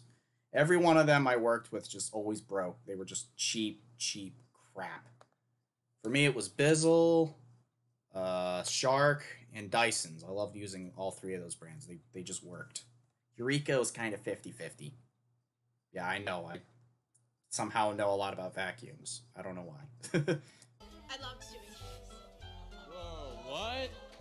we actually did lose the power when we were filming this. I don't know what exactly happened. Uh, the snow was probably a good giveaway back there, but yeah, somehow in the middle of the the recording here, it just it just went out like that, and it was just worked out well for the end of the video though. so yeah, that was a that was an, um, probably my second favorite from Danny in the Hall. You know, just all the uh, it was a simple idea, obviously, but it was just we just went off the rails with it, you know, in terms of how making it work. Um, what's another one I could do? Oh, the Engines of SEPTA videos. Um, because another problem I had with Windows Live Movie Maker was the audio balance, especially if I uh, was loud at some point uh, in the video. Not sure if I'm gonna watch that one. Uh. Yeah, you know what? What the heck?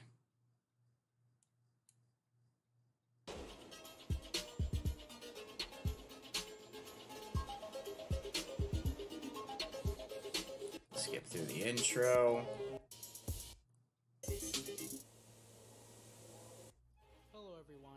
Welcome back to another Engines of Stupid squirrel. Well, we didn't have a squirrel put out the power once at one of our schools. We had a snake. Uh, yeah, when I used to go to middle, s- excuse me, at middle uh, middle school in uh our cul- uh the well, it's actually it was actually an intermediate school, but um, uh, we actually had a snake uh, make its way into the the power box for the school. It fried itself on one of the wires and totally killed this power in the school for a couple of days. And just for the gradu- uh, for the students leaving, because uh, it was I was in eighth grade when it happened, just before I became a freshman at high school. For the end of the year slideshow, they showed the cooked remains of the snake at the end, and everybody was like, "Yes!" Nothing but a bunch of like immature 13 and 15 year olds just cheering for a burnt carcass of a snake. Oh man, that, those were the days. I think it was a gardener steak though. It was pretty small. I think it was about like about like this big. excuse me, slow speed line, as it's called now. But that's another story. You could hear it was pretty quiet, but you'll hear eventually why.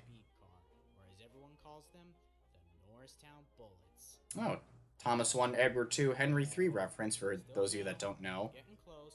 Still, oh, for God's sake, not another one.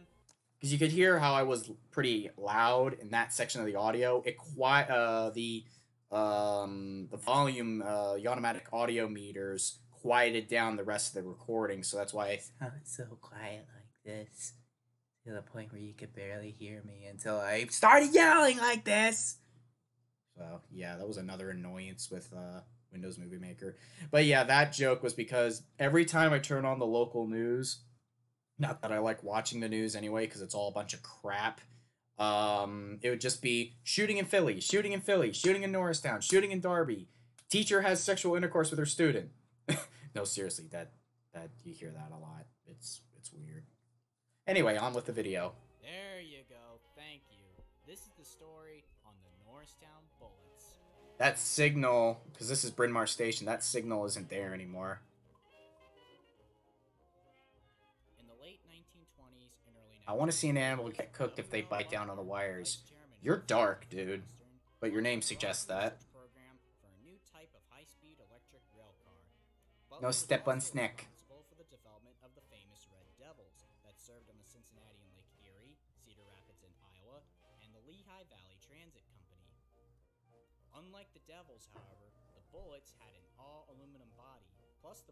The bear a unique distinction as being the first American rail car This is 100% true. see airplanes going in there. The car was incredibly streamlined to reduce People really seem to forget how much we owe our high speed train history across the world to this little interurban car here, this little bullet car. Like, a lot of people seem to forget that. But you know, nobody cares about Philadelphia these days. Even back then. Well, actually, back then it was like one of the be- go-to places. It was one of the places to be. But nowadays, we can't. Uh, the city can't find enough craps for everyone to give. But you know, that's uh, that's politics' fault. Save on energy consumption, and overall, the Bullet's design had only two things in mind. Did the Norristown trains before the N5s came have three cars or no? Yeah, sometimes you'd have three cars, like in here.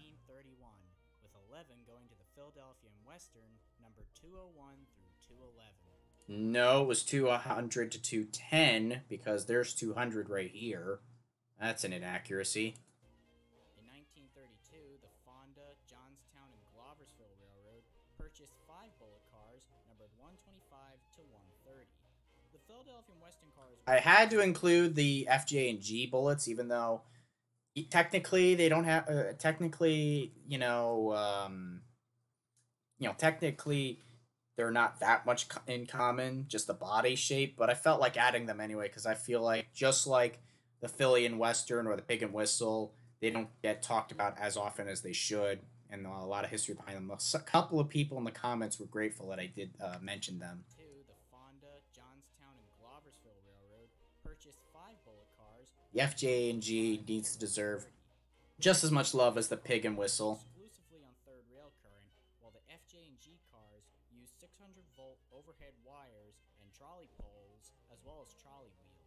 The trolley wheel I was referencing, for those that don't know, is this one right here that rides the wires, not the actual axles like the wheels on the car. Just this one right here on the pole. The Philly cars measured 55 feet in length, weighed 24 tons, and had four traction motors capable of over 400 horsepower. The Bullet's maximum speed was over 92 miles an hour, but one did manage to reach 100 miles per hour while testing. That's Bridgeport right there. Such Bridgeport Viaduct. Sci-fi like back in those days. The FJ and G cars, on the other Or at least I think. At 46 feet 11 inches. No, it's not. Never mind. And could only run at at a maximum speed of 75 miles an hour, which was still pretty fast. The Norristown Bullets started off with WABCO AA1 horns, but over the years, as the horns became more and more scarce, they were replaced with WABCO AA2s. I'm not sure how true that is that they had WABCO AA2s. That is an original AA1. By the way, isn't it funky that a SEPTA bullet operates the same? Uh, this SEPTA bullet uh, at the Trolley Museum operates the same way as its FJ and G counterparts. You know, with the trolley pole. Friggin' hilarious.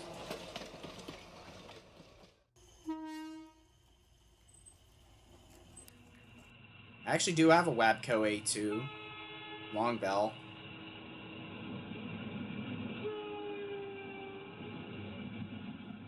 It's in my car somewhere, considered to be the granddaddies of high-speed trains which is very true. pacing and speed. The Japanese Odakyu 3000 series SE Romancecar was inspired by the casing of the bullets, and in 1957 set a record of over 90.1 miles an hour, which was a new record for narrow gauge trains. The bullets are also considered to be the ancestors of many high-speed trains of today, such as the Eurostar, TGV, the ICE, the Shinkansen bullet trains, the AVE, and even the Acela Express of Amtrak. Very true. We owe a lot of our history for high speed trains to the pig and whistle bullets. Which is what I tried to do with this video. I tried to lift up the history on not just the Philly and uh, on the uh, bullets, but also the pig uh, Philly and Western as well. Reading Railroad of my area and the Great Pennsylvania Railroad, the standard railroad of the world. But the railroad had laid standard gauge trackage with a trait never seen before This is actually the map of the PSTC, which was a uh, predecessor to SEPTA at the time. A lot of these routes, unfortunately, uh, don't exist anymore. Like especially toward Collegeville and Trappe, because these area, this area right here is where I grew up, and then I currently live right about here. no railroad crossings. And that's very true. It also featured a color light block signal system, which, believe it or not, was still a rather new thing at the time. And the entire line was almost all double track to reduce and prevent head on collisions. with the only single track section between Bridgeport Station before it gets into Norristown. This has been standard on almost all forms of SEPTA rail, especially regional rail. If that wasn't enough to enhance the Bullet's potential, the track and signal systems were heavily upgraded time after time to remit full high speed. In one test run, a Bullet covered the 13.5 miles of track between Norristown and 69th Street and Upper Dump in less than 11 I pro I kind of regret using Upper Dump, even though that's kind of the nickname for the Upper Darby area. When you're in a professional uh, environment like this, I should have just said Upper Darby. But live and learn. by one third from 24 minutes to 16 minutes, including stops and speeds of over 80 to 90. 50 and 60s radio. Try 20s and 30s.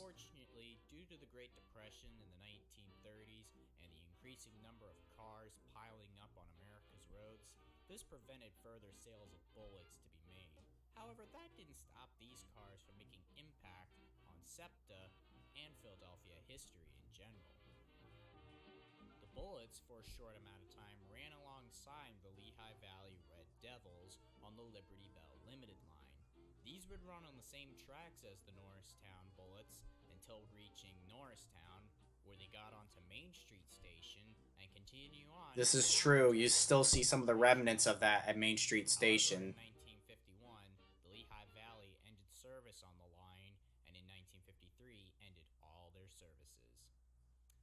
The Philadelphia and Western was then absorbed by the Philadelphia. That's Norristown Transportation Center, except it was a lot further back, a little bit past the courthouse compared to where it's located today. Funny fact. And whoa, whoa, whoa! Back up a minute. Back up a minute. popularly known as the Red Arrow. Is that a Vader? A small Vader style signal? Huh. Interesting. That literally looks like the modern day Vaders that you see everywhere on most Class 1 railroads. Huh. Cool. Who knew? But in 1956, the PES They look like doodlebugs. Yeah, but they're electric, so they kind of don't count as doodlebugs, because doodlebugs were mainly gas or diesel.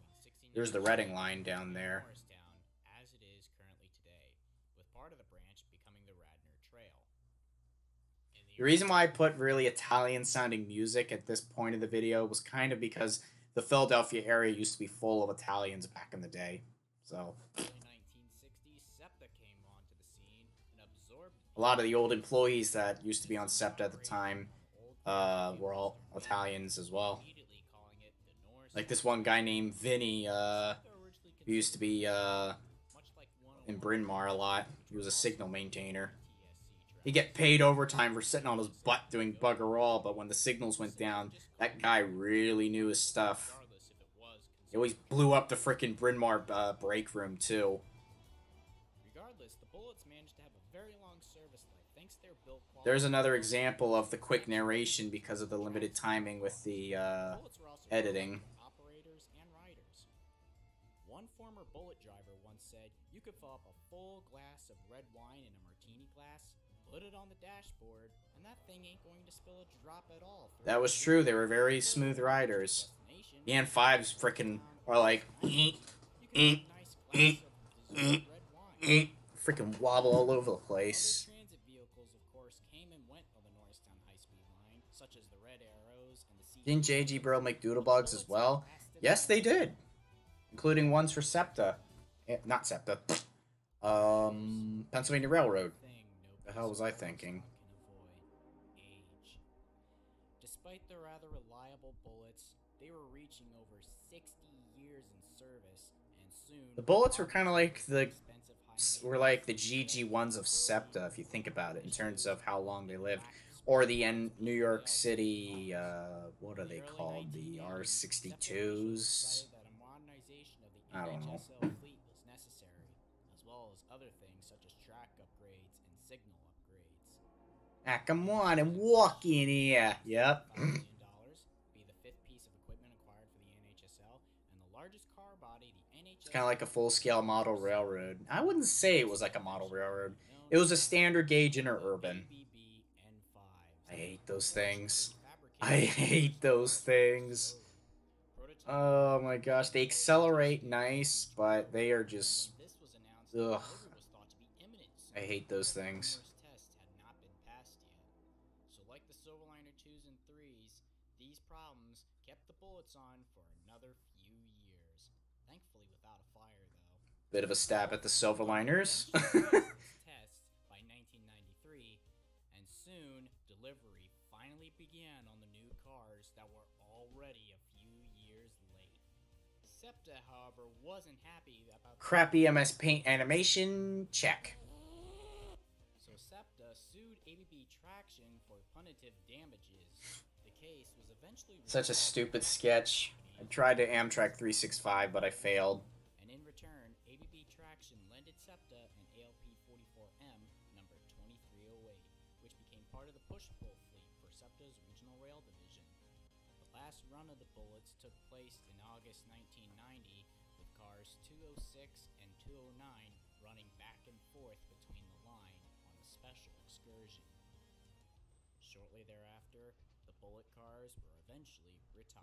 Ben the Train Kid, I don't think they would ever do that, but it'd be nice. 203, 207, and 208 are at the Seashore Yeah. Trolley Museum in Ken Funky, Maine. 204's body was sent to the National Museum of Transportation in St. Louis, Missouri. 204 was sadly scrapped as of 2014, as far as I remember. There was a comment in the video saying that.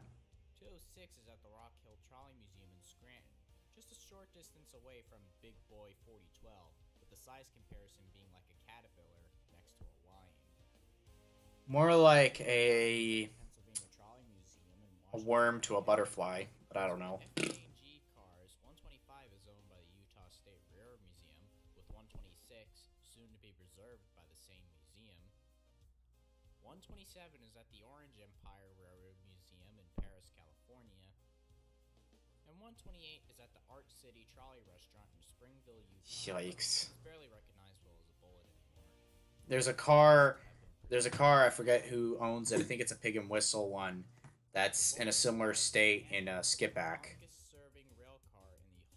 It's at a hotel. Three even lasted longer than the GG1s, which ran from the 1930s to 1983. That's right. The bullets lasted 10 more years. All right. Now, enough of the older stuff. Let's start looking at some of our more recent, or my recent uploads. Not too recent, but you know. Um, let's see.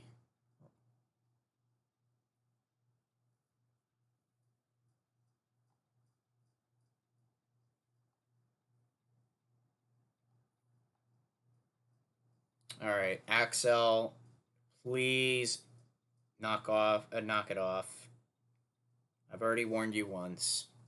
Also, 206 is at Steamtown, not Tro- uh, Rock Hill Trolley Museum. I did say one of the cars was at Steamtown. Eh, I don't know. Oh, oh, this rail fan video. Yeah, There's a reason why I want to point out this one, not just because of the old sites, but there's one clip in particular I want to mention. It's actually this one right here. Um, there's a bunch of other clips that I took that day I could I could talk about, but this one in particular I want to talk about. The one with uh, 39G having 1800. So the story was 1800 was obviously one of two NS SD70 ACCs that had the yellow bonnet paint scheme, as people like to call it. I like to call it the Tails livery because you know people call 4000 4001 Sonic, the 4003 to 4005 being Shadow, and 8520 Knuckles. So 1800 and 1801 since they're yellow, call them Tails. So I heard it was on 38G. I missed it, but it was coming back on 39G, and I was like, "Dang! I wish it would lead. Uh, I wish it was leading." But then after catching it in Bridgeport, I was like, "I'm glad it wasn't leading." You'll see why.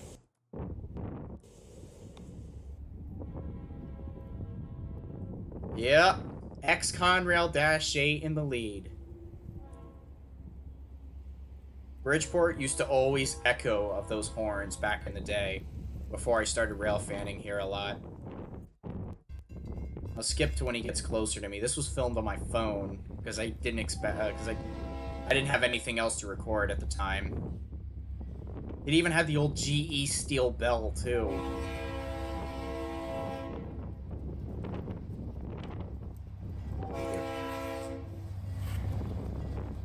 Look at that. Still has the places for the marker lights. Still has the GE steel. Be cool to see.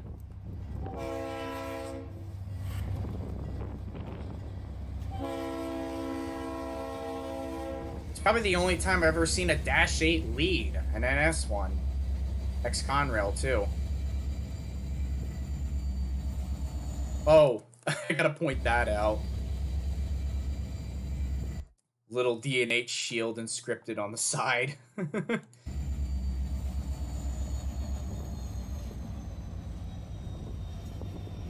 that was my first time getting 1800 as well. But yeah, I was upset it wasn't leading at first, but as soon as I started hearing that RS3L on 8322, I was like, I'm glad it wasn't leading. I'd eventually would get it leading at some point, but still, oh man, that was that was. You could also get a great comparison between the chugging of that Dash 8 compared to that roar of the uh, 1800, which was also pretty cool. So yeah, I just wanted to point that clip out because you know I just wanted because you know I just remembered that video. That was exactly that was on April 3rd, 2019 as well that clip, which would have been 2013, 14, 15, 16, 17, 18, 19, 6 years after I created my channel. Isn't that crazy? Um and then a bunch of other rail fanning videos. You know, nobody watches them anyway, though. Uh, everybody watches the documentaries. Um, let's see. We're starting to get a little late, so I'm gonna wrap this video up at some point. Um, so we'll probably watch one or two more videos, and then I'm going to call it a night. Um, let's see. We'll do the Nepisiguit video. Aren't you tired? Sleep is for the weak. Probably do this one, the Chase Maryland remaster. Being and then yeah, probably the Chase Maryland remaster after this, and then that'll be it. Way train can be a terrifying experience for anyone. You could easily get killed or injured. And often, with how heavy trains can be, once that runaway starts, it's very hard to get it to stop.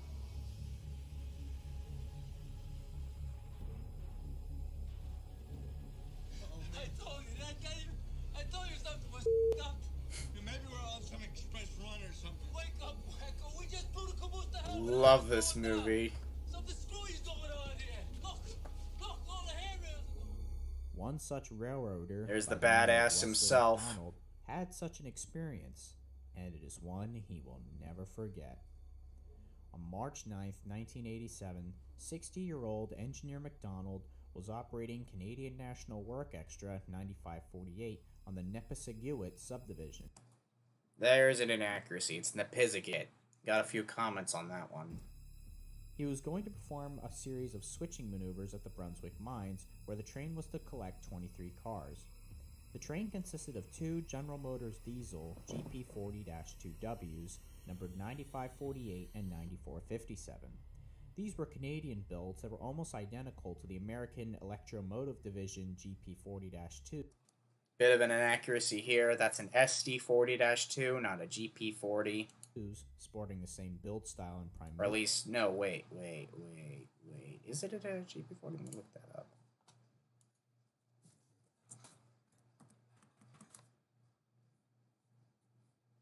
Yeah, it is an SD40 2. over, but with a wide cab instead of the EMD standard cab. To get the cars they needed, You know, to Cannon Group was notorious for making films on the, the cheap. That could explain why Runaway Train seems like it's low budget, but it's so freaking first move, it would underrated. Take 23, or so they thought. Engineer McDonald was alone in the cab of the lead engine, and as instructed, he coupled the engines with the cars in tracks B226, B225, and B224, culminantly in that order. He was then required to initiate a reverse movement back from track 24 toward the yard limit. At the beginning of his backward movement, Engineer McDonald could not be aware of how many cars he was pulling, although it was usual to collect approximately 23 cars. It is common ground that his view was obscured It was very laggy uh, when I was trying to use this, but well by the it was at least So he would have to rely on adequate. communications with Trainman Court via radio, who would be an extra set of eyes for him. Court contacted him on the radio. Yeah, I think after this video, I'll react to the Chase Maryland the remaster, was not and then uh, It is I'll call it a night. cars from one track to another that a train Can you make a remake of the genuinely Hinton rely on train the crash? the Yep, that is scheduled. cars Stay being tuned. Switched around are not being hooked up to the air brake system. This was normal practice at, at Brunswick mines at the time. When the train is fully assembled, the air hoses are then hooked up so all the cars have their own braking force, and on they would go. In their normal course, therefore, assuming a load of 23 cars, McDonald would not expected any need to couple the air brake system until he had completed assembly. I would always train. hook up the air brakes. Unbeknownst to the engineer, however, and contrary to the impression he took from whatever Trainman Court may have said, he was in fact pulling 31 cars, all heavily loaded with ore, not 23. He pulled the train I was using the uh, CN Holly sub for this video. It's very easy to tell. I didn't have any other CN routes. independent brakes. However, to his High hoods are endangered the train did species on NS. It instead accelerated. Hmm, sort of. At that point, his two locomotives SD80 Aces are the substantial number of best. cars Those don't a exist. 1.19% downhill grade. XL. Major McDonald realized I he thought I made quickly my losing warning control of his clear. train. He then applied the emergency brakes, but they had no effect either. The train continued to accelerate down the hill. The engineer was now the only crew member left aboard the train, the others being in the caboose, which was uncoupled on Or track train runaway. Why does that sound the familiar? yard. Yeah. Real audio clips. This was one- uh, one of the best parts about making the video.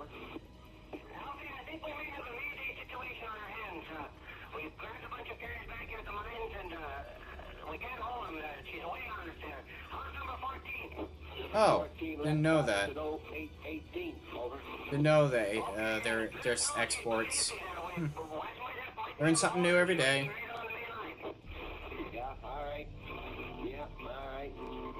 This has got to be the most Canadian recording I've ever heard.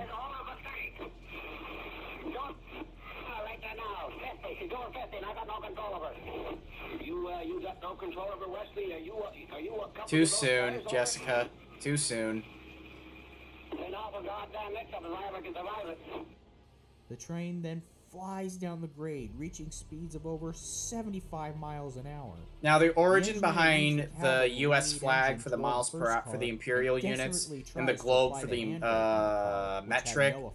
Uh, I got the All idea do now was from uh, second locomotive and just uh, Mustard because He he did something grabbed hold of similar for some of his videos, and I felt like doing it just because why not? Someone even commented that it was smart for Wesley to uh, blow the horn for the crossings because a lot of them were rural crossings like able to cross warn bucks other or just uh, lights, so they wouldn't be used, and they're not used to set. Uh, they were used to slow 50 mile per hour mine runs, not a freaking 75 mile per hour runaway. On the net that you could stop, but he can't get her stopped. He's heading for the biscuit about 50 miles an hour. He lost his air. Over. Okay, He then notified emergency services of the ensuing emergency and to prepare for the worst. Wesley, is there no way that you can clear get get off of that train? For the love of heavens, over. I can't get off her. Well, I think you better bail off into a snowbank if you, if you can do it at all. Oh, right, I don't know. I do have links to the full audio of the incident down below in the video description Stays on the of this video in particular if you're If he was curious. gonna go down with his train, he'd go down fighting, trying to see if there was any other way to slow or stop the runaway. Wesley, are you alone in that engine? Would you repeat that, please? Over. I also should point out I used the wrong rolling stock. I used like these coal hoppers instead of the uh, gondolas because I didn't know what the cars looked like. I mean, I did know what I what they looked like, but I couldn't find exact matches for the simulation. Favorite part of the video there. Get the hell out of the way! Well, get the hell out of the way then, Palmer. The the second I don't know why that expre- uh, that exchange makes me laugh every time. Is making YouTube videos frustrating? Depends. Sometimes they are, sometimes they aren't.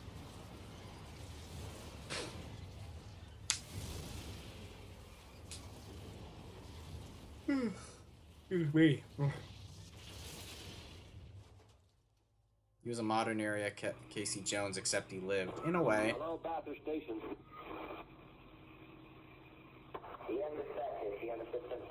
Oh my gosh, this guy was a moron.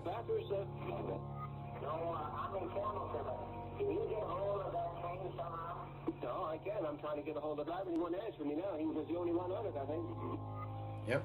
The van was still at the mines. The train broke away. Yeah, if you can get hold of him, tell him that not, that when he comes to a stop, and hopefully with no injuries or anything, tell him not to move until we're all out there. How do you expect him to stop at a switch at 75 mile an hour like that? Okay,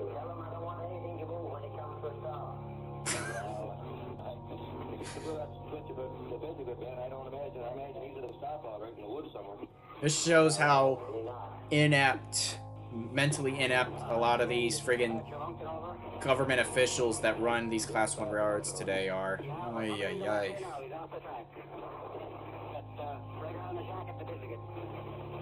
How bad is the job there, can you see? The locomotives and all 31 cars left the track, doing almost 70 miles Can you hour. make one on the St. Paul on the uh, Valentine's subdivision. runaway? The engines came to a rest on their side. Usually that's not a good time for me to make videos, but I Some might just maintenance men working produce it next year in uh, January and just release it in February, but we'll see what happens. wreck, expecting McDonald to be dead. No, Jessica, he's just a government official. That's that's all you need to know about how dumb he is. Yeah, where are you at, Neil? I'm coming in the now. It's not looking very good here.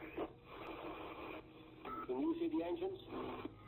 Yeah, they look to be on their side. Anytime you hear engines on their side, you can expect injuries. Miraculously, Engineer McDonald had survived the violent crash, and he crawls out the second. You think the managers CP and KCS are fine? CP no, KCS Lucky to escape with his life. kinda. Fortunately, no fire occurred in the engines, despite. You can see they look like ordinary gondolas in this shot here. I didn't have anything that could match. million dollars. It sucks, Now, how but could this happen? what are you gonna do? I wouldn't have trust the government to tie my shoes. for switching Accurate. not Very accurate. being hooked up, especially at the mines. Also, there was no way McDonald would have known he was pulling 31 cars instead of the 23, since there'd be little difference in the acceleration of the train, since the engines had more than enough power to move either number of cars.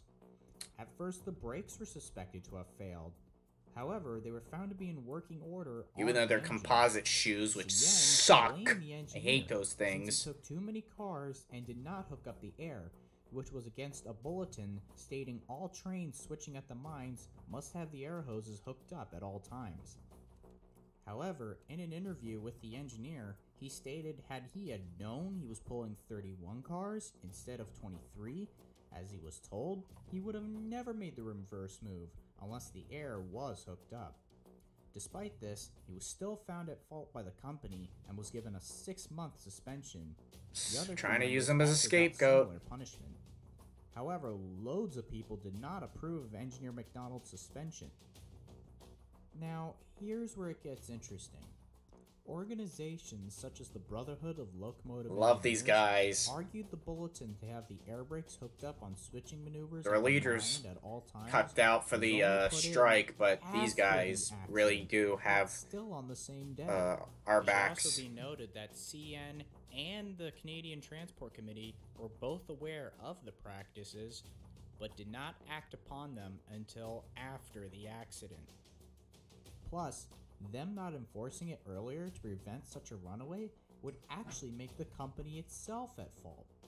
They also argued the engineer had over 42 years of service with Canadian National and that he stayed on board the Just train dropping in to say happy 10 years, man. to Yeah, thank you. I love moving Trains until it 323. hit the curb. I gotta get your lines for uh, Bulstrode done at some point, so uh, yeah. people of the oncoming train. I'll have to do that later this week. I almost completely Douglas forgot. Williamson opposed the suspension of the engineer, stating, "How could CN be so crass as to suggest his guilt? If he risks his life to stay with Terrible attempt at a Canadian accent. Other factors include the brakes on the locomotive. Now this I can testify to. locomotives in question I've worked with these brake shoes at uh, instead of New Hope and cast Composite shoes are which were pain in the ass.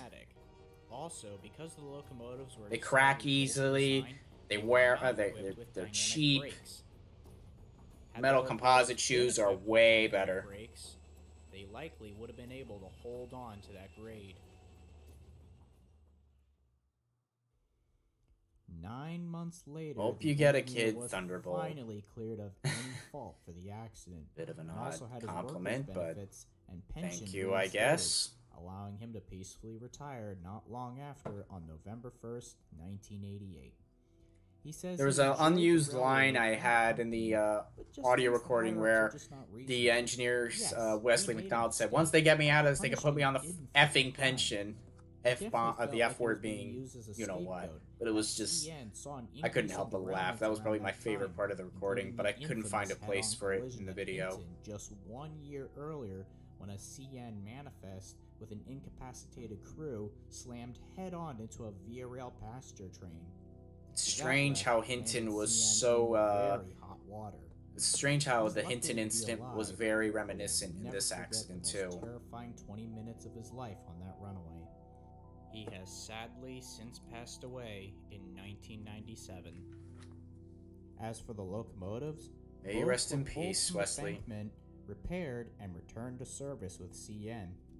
9548 would be sold to the Yadkin Valley Railroad in North Carolina sometime in 2004 until being sold again in 2009 to Knoxville Locomotive Works. Today, the engine is now part of the Lancaster and Chester Railroad of South Carolina. 9457 was sold to Railcar Limited in 2005. Where did that sound effect come from? sold again There's a bonk there when I said to that. New England Central, renumbered to 3015, and is still in service as of today. Must have been something Brunswick falling over near my computer. I don't remember though. After suffering a series of economic ups and downs. Oh, he, you, your dad knew that guy when he was signal maintainer? And the Huh. memories of this Wow, small world. will likely stay This is also one of the two engines involved in that accident uh, getting repaired. It looks like it's 9457. Yeah, it is. Look at the bell missing and the one horn. All right, so I know it's it's past midnight, but we're gonna watch one more video. I wanted to watch this because it's probably the most relevant documentary I have, but it's more than an hour, almost an hour. So instead, we're going to watch. Uh, we're gonna watch and react to the Chase Maryland one since we watched the original. That way we can compare the two.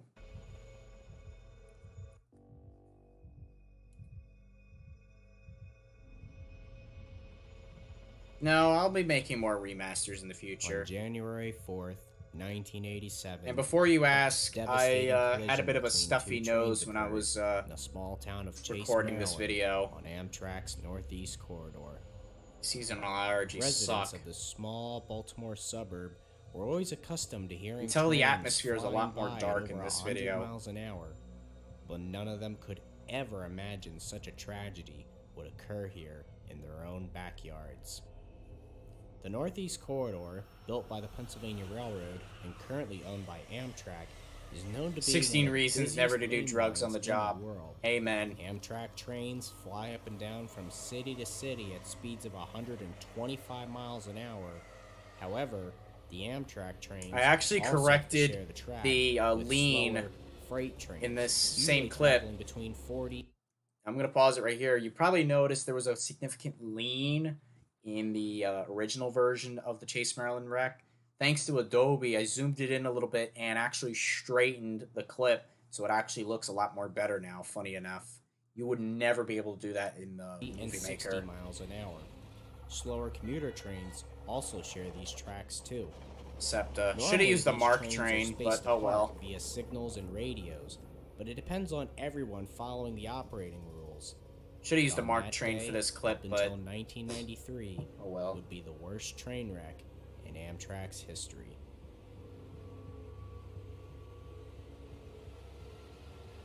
Bit of a longer intro, but it was a lot more in detail. You'll notice compared to the original. On the morning of January 4th, Footage, simulation footage provided by Amtrak Automatic. 94, Thank you so the much. Colonial was traveling north from Washington's Union Station to Boston South. Station. Originally, I asked for 16 coaches, but I realized it was actually 12 coaches. I think I said 16 in the original video, which was where I got the inaccuracy. So we had to redo all the simulation footage from scratch relatively that. new Electromotive Division AEM7 locomotives. Nowadays they do numbered fit max. Oh back then, 900, with not really. Oh in the It was pretty inaccurate, inadequate built in back then. 1979, and 900 was the prototype for the AEM7. I still forget where I got this photo though. easily 900 on the miles main line with both pantographs up. Replace the aging former Pennsylvania Railroad GG1 fleet that have served since 1934. The two locomotives had 11 Amfleet 1s in tow, two of them being snack bar cars. There was also an older Heritage coach, second to last in the consist, number 7624. This is why A crew of five 94 was limited to 660 105 miles an hour. It was that the heritage train, coach. There was not a speed restriction for the returning home from tracks that limited them to or 105. Ready for the second semester in school. 35 year old Jerome Evans was the engineer that day. Why The we gonna may get a remaster Union at some Station point? The original one's 12:30 p.m. not that great. Meanwhile, at Conrail's Bayview. Yard, just east of Baltimore, Conrail ENS 121 was preparing to I leave the symbol with this just time. locomotives and no freight cars to Enola yard in Harrisburg, Pennsylvania. The locomotives were three rather new General Electric B36 7 diesels delivered to Conrail See, I made the same mistake. With B36 5044 sevens. I should have said B36 5052 in the dash seven, and like everybody else. 5045 in the rear. 32 year old Ricky Lynn Gates was the engineer, and 33 year old Edward Butch Cromwell was the brakeman. Yep, that is indeed Butch. The train leaves Bayview Yard at 1:16 p.m. The Conrail, Con Air. Amtrak 94 All we need is Con C, and we'll have all three elements. Or Con Road. At this point, switch Most 12 of railroaders don't use the dash. interlocking Is that true? was set to normal, Huh. and track 2 was all lined up guessed? for Amtrak 94 to speed through. So the Conrail set would have to hold until the Amtrak train had passed before they Didn't know that, the Jessica. corridor. Thanks. However, Guess it wasn't that bad. wouldn't be the case.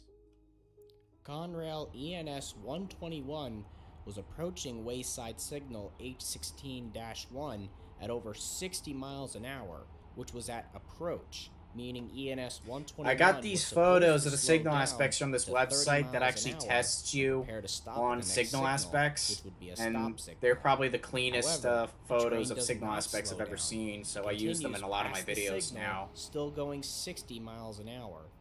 I got a pretty perfect. I got a pretty good score. I got like 85 percent. I got like 85, 90 percent on that displayed quiz. a restricting aspect, warning the crew to slow down to 15 miles an hour and be prepared to stop. But again, they didn't slow down. An alerter whistle should have sounded, warning the crew about this. I think that's what it would have sounded like. with a piece of adhesive. Yeah, Brakeman Cromwell was also supposed to call out the signals if Gates missed them, but he didn't. Finally, the engineer notices the final signal, 1 north, which showed a stop aspect, Such set the brakes great editing. stop. I'm not even being sarcastic. But because of their speed, They bit of an inaccuracy here. Um, it wasn't a crossover. It was more or less this track ended right here, and there was another crossover behind them. Um, that was a slight error in the simulation, but it was already too late to fix it. overshot the signal, and the three engines forced their way through the switch. And also, another side note: these reskinned B36 were from uh, Automatic as well. So he not only made the simulation for me, he also reskinned these NS B36 to be Conrailized. So thank you so much. and slipped onto the main line onto track two. The same track Amtrak 94 Anonymous, Axel, knock it off. Last warning.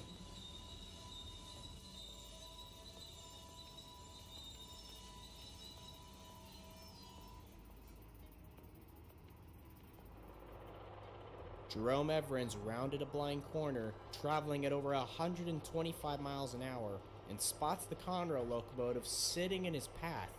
He immediately Dump hits the air, dump the air. but it was already too late.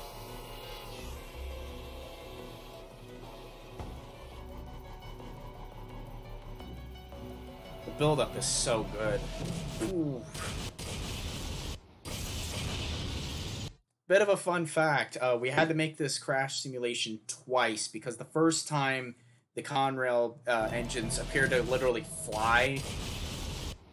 Like instead of being bumped like that, you know, like this, it was more like. so, I'm not sure what he did in order to uh, make them not jump as much from the impact, but uh, yeah, the second time round, it managed to look a lot more realistic. And another weird thing is the physics of the accident were very eerily similar to what exact oh to what uh, the the cars derailed almost in the exact same pattern they did in uh as they did in real life. Uh, I'll show you an example later.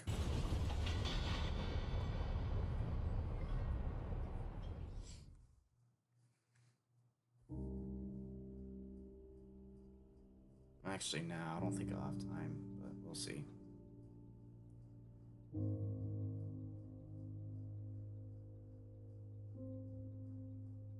What are you waiting for, Big John? What's coming through Piscataway? Amtrak 94 slams into the rear of Conrail ENS 121 at over 120 miles an hour. The force of the impact causes the rear Conrail locomotive 5045 to explode when the kinetic energy passed clean through the empty cab and into the prime mover, knocking it off its mounting. Notice the shadow. it That's a like throwing a glitch in the sim- into a simulator. CRT TV screen. The explosion destroys it's the front Train cab Simulator of AEM 7903 2022, I think it was, and tosses the remains and the rear cab to the west side of the tracks, instantly killing the engineer Jerome Evans. It's been said his decapitated head was found several feet from the impact site. Some people got mad at me for pointing that out, but I'm not 100% sure if that fact was true, but I felt like mentioning it anyway. It's also been said 5044 Jer- uh, Jerome Evans and Ricky Lynn Gates knew each other, line from the which before coming I don't know how. I would feel if I The second Amtrak real- engine, I found out one of the friends crushed by the Amfleet that I that, that was up like my the, basically Experts I I would the I'd feel pretty bad. was like 300 tons of TNT Am I kidding? off, I'd enough feel to destroy terrible if I friggin' an accident that 911 I probably caused killed a friend that I knew. centers, at first reporting an explosion, but later reporting the actual train. This is actually true. This was said in Most first interviews in the Rescue 911 worst, episode, and which is the footage you're seeing right their now. Fears were justified. Locals living nearby came to help the injured, with many of them aimlessly wandering like zombies, begging for help with severe injuries. Inside the mangled cars, luggage had fallen. XL, my real name's the not that big of a seats secret were anymore. Ripped from their frames, crushing people, and even worse, inside the snack bar cars, the microwaves had flown from the snack bars and wedged themselves into the walkways, jamming exits. Suddenly there was a big jolt. Next Actual thing I know, interviews with the stumbling all over the place, passengers. baggage was falling. It was just people flying. So much of this was missing in the original. Total mess. There was people like yelling, you know, like help me, help me, like that. So I, you know, ran up to the train. I crawled through the window, And that's when I seen Jim Howard and Catherine Howard. He was, because he his must have hit his face against the seat, and his eye was all swelled and everything like that. And she was pretty bad. She couldn't get up at all or anything like that. So we grabbed her, and we handed her out the window. Then we helped him out the window. See, everybody says don't move people to the accident, but then you, you know, that diesel fuel and the fire. Yeah, everything, that you know, is what go up true. Or not or anything. So you don't think about it. You think, you let's get the people off the train. Yeah, that's Within true. minutes, He's got a good point there. Specially trained for That guy's on-site got a really good care point there, Raced to the gotta say. scene and were quickly overwhelmed. You normally don't want to move people in an accident because you could injure them more. Passengers begged to But you don't know lives, with a situation like that if a fire is going to spread or not. So you just want to get them out as fast most as of their possible. Tools, such as the jaws of life used in automobile accidents, were simply useless against the mangled train cars. Even though I tried to make the di- uh, the remaster a lot better than the original, I did want to include some elements that They could used ladders, hone back to the original in a way, to help like similar narration, stuff like that, similar music, right. at least at the end. Some rescuers saw people take their last breaths right in front of them. Thought it'd be pretty tasteful.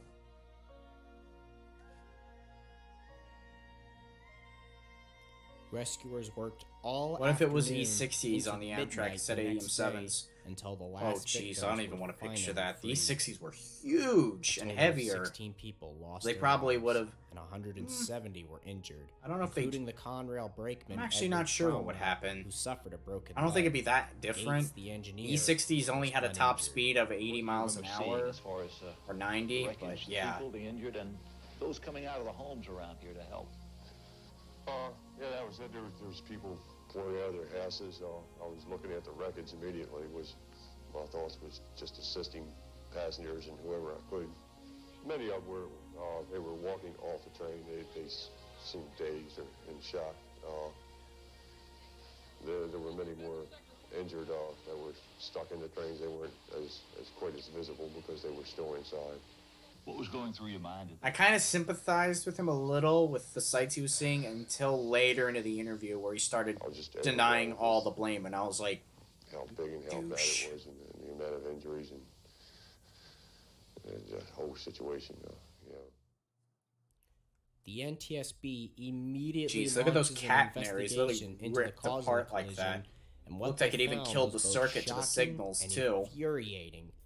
Blood and urine tests showed that Gates and Cromwell were both smoking marijuana, and it was found that they had been passing a joint back and forth in the cab of 5044. However, both denied it at first. After we left the yard, when we were on Amtrak's main line heading up to this point, uh, we, I took about three hits off. We were passing it back and forth. Were you a regular smoker of marijuana? Something you'd used before? Uh, yes, I had used it before. Uh, I, I suppose I would call myself a regular user. In terms of uh, missing the warning lights, missing the pre-alerts, do you think marijuana had any effect on you? No. lying bastard. People tend to think marijuana has. Sorry, that still no pisses me people. off every time I As watch the that interview. At Bayview Yard that day. Just stated nonchalantly like, he didn't notice "No." anything off about Gates and Cromwell. lying. However, it can alter one's sense of time and impair the ability to perform tasks that require concentration. Hence why Gates missed several signals warning him not to switch to another set of photo- tracks. this photo was taken. Marijuana also produces very little visual signs compared to people who Nowadays, you can be drunk and still keep your so job. It's often hard to tell That's true. if somebody abuses sadly. marijuana or not. Gates even claimed he had a medium approach signal, which would indicate he'd have to slow down to about 30 miles an hour and cross over a set of tracks. But tests of the signals indicated that couldn't be true. It was also revealed not only were the Conrail crews speeding, but the Amtrak train was too. Velocity runaway trains touched on this, but they got since they wanted to make trains look dangerous. I feel like in that video and unsafe, they listed the train, uh, the Amtrak train, going 128 miles an hour, which I eventually found out was completely bogus. I don't know where the hell they got that info because I looked around. Was about Nothing said anything miles about hour, 120 and miles an hour. at 110 miles an hour. A speed restriction that was in effect at the time of the accident limited passenger trains to 105 miles an hour. It was only well. because of the uh, heritage Conrail car and the ENS consist. 121 was going 60 miles an hour before its emergency brake application, and Amtrak 94 was going 125 miles an hour. However, even if the Amtrak train was not speeding, going at This either is very 105 true. or 110 miles an hour, it would have made very little difference and would still have no hope of stopping in time when Jerome spotted the Conrail units. Toxicology tests also came back negative in Jerome's body. It was also discovered that the Conrail crew did not do their pre departure tests before leaving Bayview Yard, and as a result, several errors were found in the lead locomotive 5044. The Pennsylvania Railroad style cab signals had the approach bulb missing, and the little whistle that would alert the crew that they had passed a signal other than clear was silenced with adhesive tape. biggest single, uh, I guess, technical problem would have been the whistle being taped over. The alert whistle taped over. Right. Gates claimed he didn't know where it was, and he also said he didn't mute the whistle himself. I wouldn't. I don't think he looking muted it, it but I himself, didn't know where the but whistle was located he should have looked for particular. that However, whistle. whether that was true Make or sure it was not, working. it was his job to not only look for it, but to also remedy it and the other issues. That's right. To make matters worse, the radio in 5044 was non functional, so they had to borrow the radio from 5045 and put it in 5044. But the crew stated they had a lot of difficulty hooking it up, so it was mostly non functional. Which is a safety hazard. The same issue was also present in the Amtrak engines, as 903 did not have an operable radio in either end, so the Amtrak It lasted a good 10 more years after this incident. If that wasn't enough, Gates also apparently had quite the bad driving record. But it was not a good DUI stain, uh, not a good look for Conrail since they quick sometime since they the became a private company not long before or As a after result this of the. NTSB's findings, Conrail immediately suspended both Gates and Cromwell, but both resigned instead of facing certain termination of employment. Gates was later charged with manslaughter by locomotive. What an odd charge. Guilty, he was sentenced. I think he's the only guy I know of. Prison. I think he's the only guy in history to be charged with such a federal crime. investigators, but he instead served five years in a Maryland prison.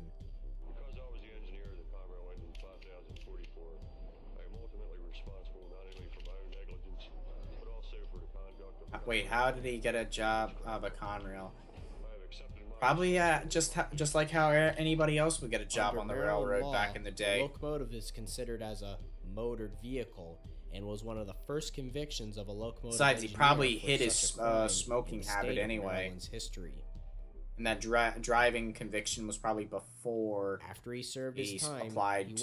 uh, was probably after he applied. He became an uh, five gen- years, uh, crewman warning on Conrail. the dangers of drugs and alcohol to people like high school students. I loved this video clip. This was really, really nice to add in. Because I think it brings a little humility to Gates. Because, yeah, he screwed up big time. But at least in this video, you can tell he's sorry. Like, he, you know, he knows, like, hey, I screwed up. I know I'm probably going to be the scapegoat since everybody else did it. But, yeah.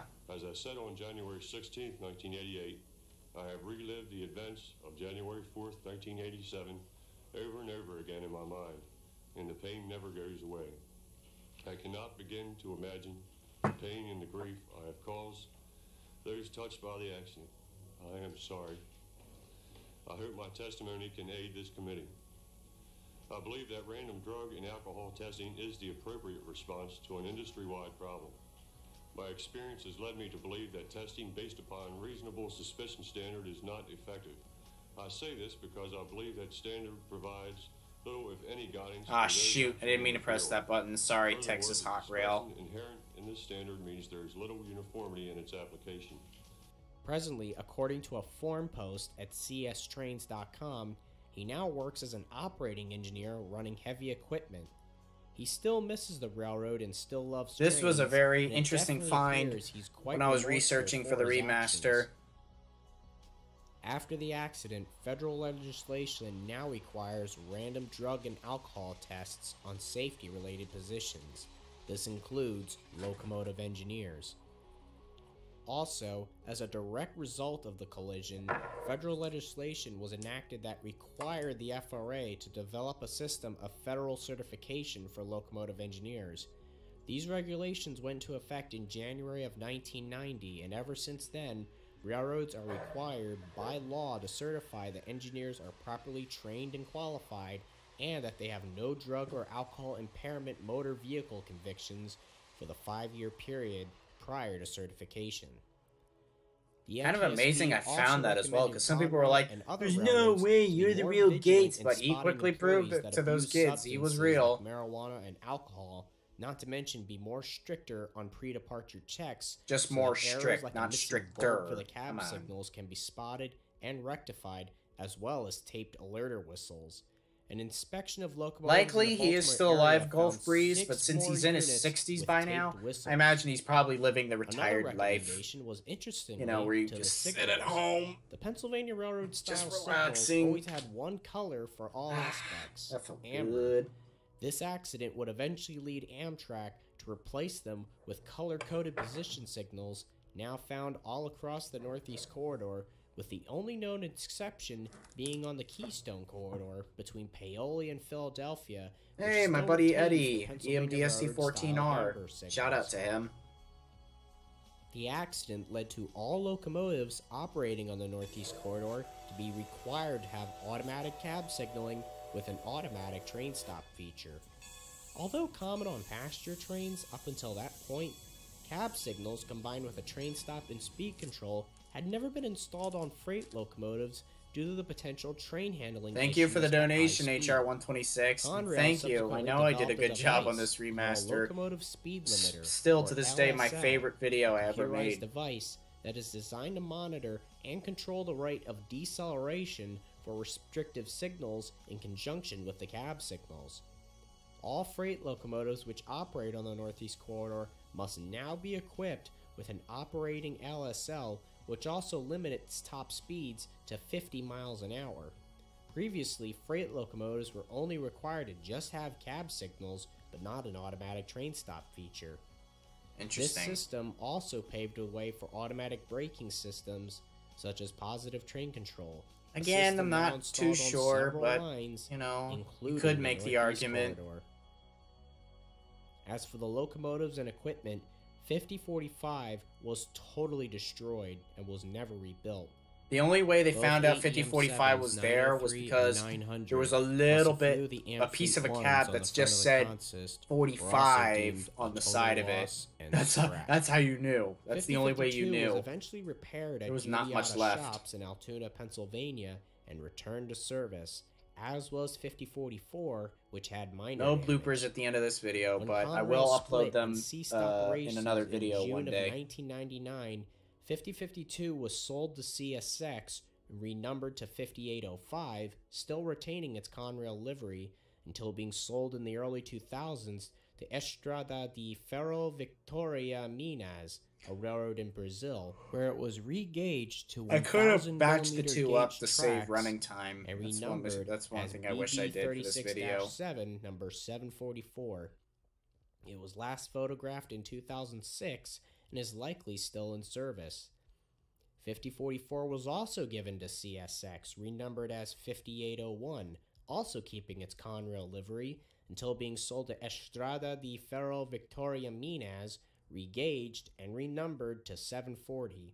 South It would be American, that's right. Valor da Logistica Integrada, being repainted, but still keeping its Also old car caps. Well, yeah, because they're still in Railroad lines, Caleb trains, that's why. 2021. Ten years after the accident, the McDonogh School of Owings Mills, Maryland, decided to build a 448 seat theater in memory of one of the crash victims, 16 year old Cerise Millicent Horn, who was on board at the time. But didn't last. Oh, it was painted in American YN2 at one point. Roger Interesting. Susan Horn. She graduated. That explains why it was in 15 EFV, was uh, in Princeton Estrada University, POV where she would Victoria study in Minez's, uh, livery at until one the point. accident. On January 4th, 2007, 20 years after the crash, her family It is interesting, but it is true, Derek. I'm not really a that big of an endorser for PTC anymore. their Uh-uh. daughter. The Baltimore County Fire Department's medical commander at the scene 20 years Notice how this track was used in the original version, and I even used it in the used as a case remaster. That was another reference to the original disaster video. He said on quote, "The reason is how the members of the professional and volunteer fire departments and the community people got together. It was, he said, a very sad but very proud moment in his career." The accident would remain the deadliest and the worst in Amtrak's history until 1993, when its death toll was surpassed by the Big Bayou incident when Amtrak Sunset Limited hit a damaged bridge at 70 miles an hour and plunged into the Mobile River in Alabama. That wreck killed 47 and injured 103. One of the worst rail disasters in American history, Chase, Maryland will certainly never be forgotten. On the 30th anniversary of the collision, yours truly made a documentary. See, there's the lean I was talking about. That same video not only led to several more being produced on other accidents, but this Yep, remaster 50 as well. videos. It has been 35 years now since this tragedy, and while some mental scars shared with victims, families, and rescuers alike will never fully heal, the fact is Hi, BNSF, War Bonnet, 470, 470, 4706 Productions. is something we can all be grateful for.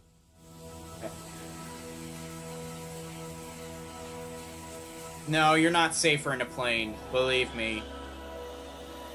At least when a train derails, you have a good chance of surviving. Whilst uh, when a plane starts nosediving, you might as well kiss your butt goodbye. Before you die a friggin' uh, big fire.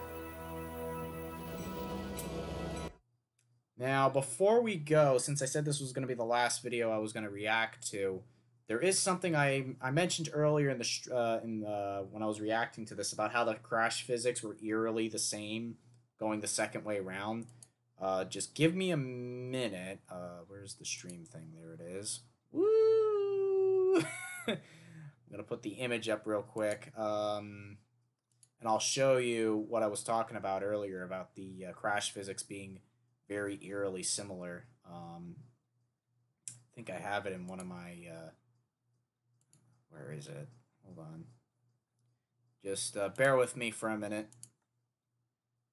It'll be like a little bit of a uh, a little bit of a behind the scenes clip since you know you guys some uh, over 60 you guys stuck around for almost the entire stream. Thank you so much for that. Um, you're gonna get yourselves a bit of a bonus. Uh, I just got to find it in my video manager. Um, let's see, collision redone. I think this is the video.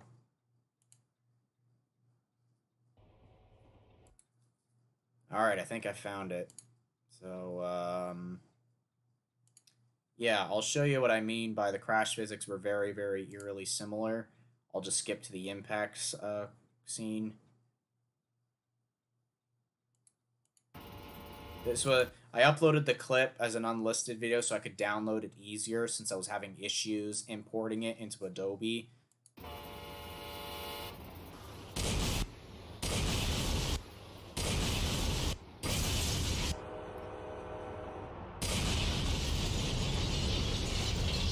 Oh, this clip doesn't have it. Whoopsies, hold on. Uh, let me go back. Um, 12 car fix. Here we go. This must be it.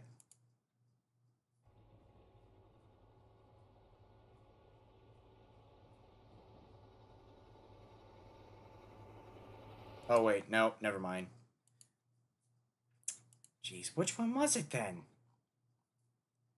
Uh, hold on. Here we go. This was the clip. This was when we used 16 cars, not 12, uh, not 12 like in reality.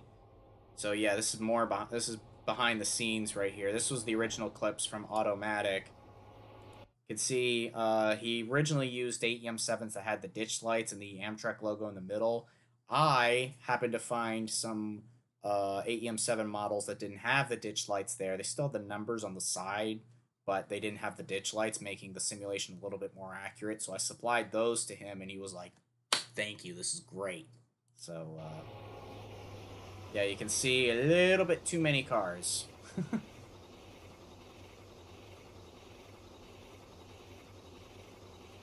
Going a lot slower in this clip too.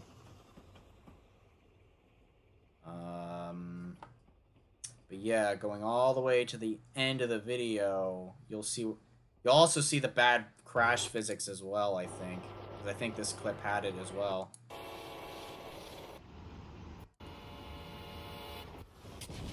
Yep. You could see the Conrail units literally jumped in the air, which was a major inaccuracy when putting the video together. If I can find the clip again, I'll just go back to the beginning.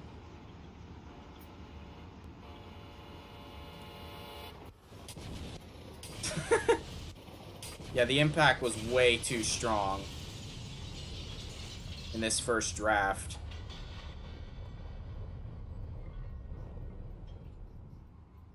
But then, as we go to the, uh, there's this extra scene, of course. Because the 5044 did roll a little bit before coming to a stop after separating from 5052. And then there's the aftermath. You can see it's very eerily similar. There was another clip too that showed it as well. I think I don't remember. The only difference is this uh, the Amfleet would have been a little more to the side here, but yeah, it was kind of interesting. So yeah, um, a little bit of a watching. Uh, it's still amazing, you know, how we've been doing this for over 10 years, or I've been doing this for 10 years. Some people think there's a literal editing team behind the scenes. I'm a literal, this is literally a one man show. I'll sometimes get people to help out for like simulations or extra voices. But when it comes to editing, it is all me. A lot of people seem to forget that. I even got a call from a TV producer in uh, Canada who's doing a video on Lac Megantic and was asking permission for the footage of Waiawiga and she was expecting like an editor or something to be on the line, but she didn't realize it was a one man guy putting all this together. She's like, "Wow, is this for real?" And I'm went, "Mm-hmm." so, um, yeah, it is well past everybody's bedtime. It's freaking twelve forty five over here. I've been doing the stream for way too long, but just thought I'd give you guys a little bit of a glimpse back to the past on what the channel was like back in the day. Um, one more super chat though from for those who like trains. Thanks for the two bucks. Great stream. Congrats on ten years and one day. you had to add in the one day bit, didn't you? But um, yeah, it's been quite an incredible journey. Uh, thank you so much for you got uh, all you guys, all sixty of you guys sticking around. I was expecting the viewer numbers to go down to at least like 30 or something, but you guys are have been loyal the whole time. Thank you so much. Thank you so much for sticking around with me for 10 years. Uh, it really means a lot to me. A lot more coming uh, into the future with the channel and stuff like that. Hope to see uh, see all you guys in the future. And take care. Good night, everybody.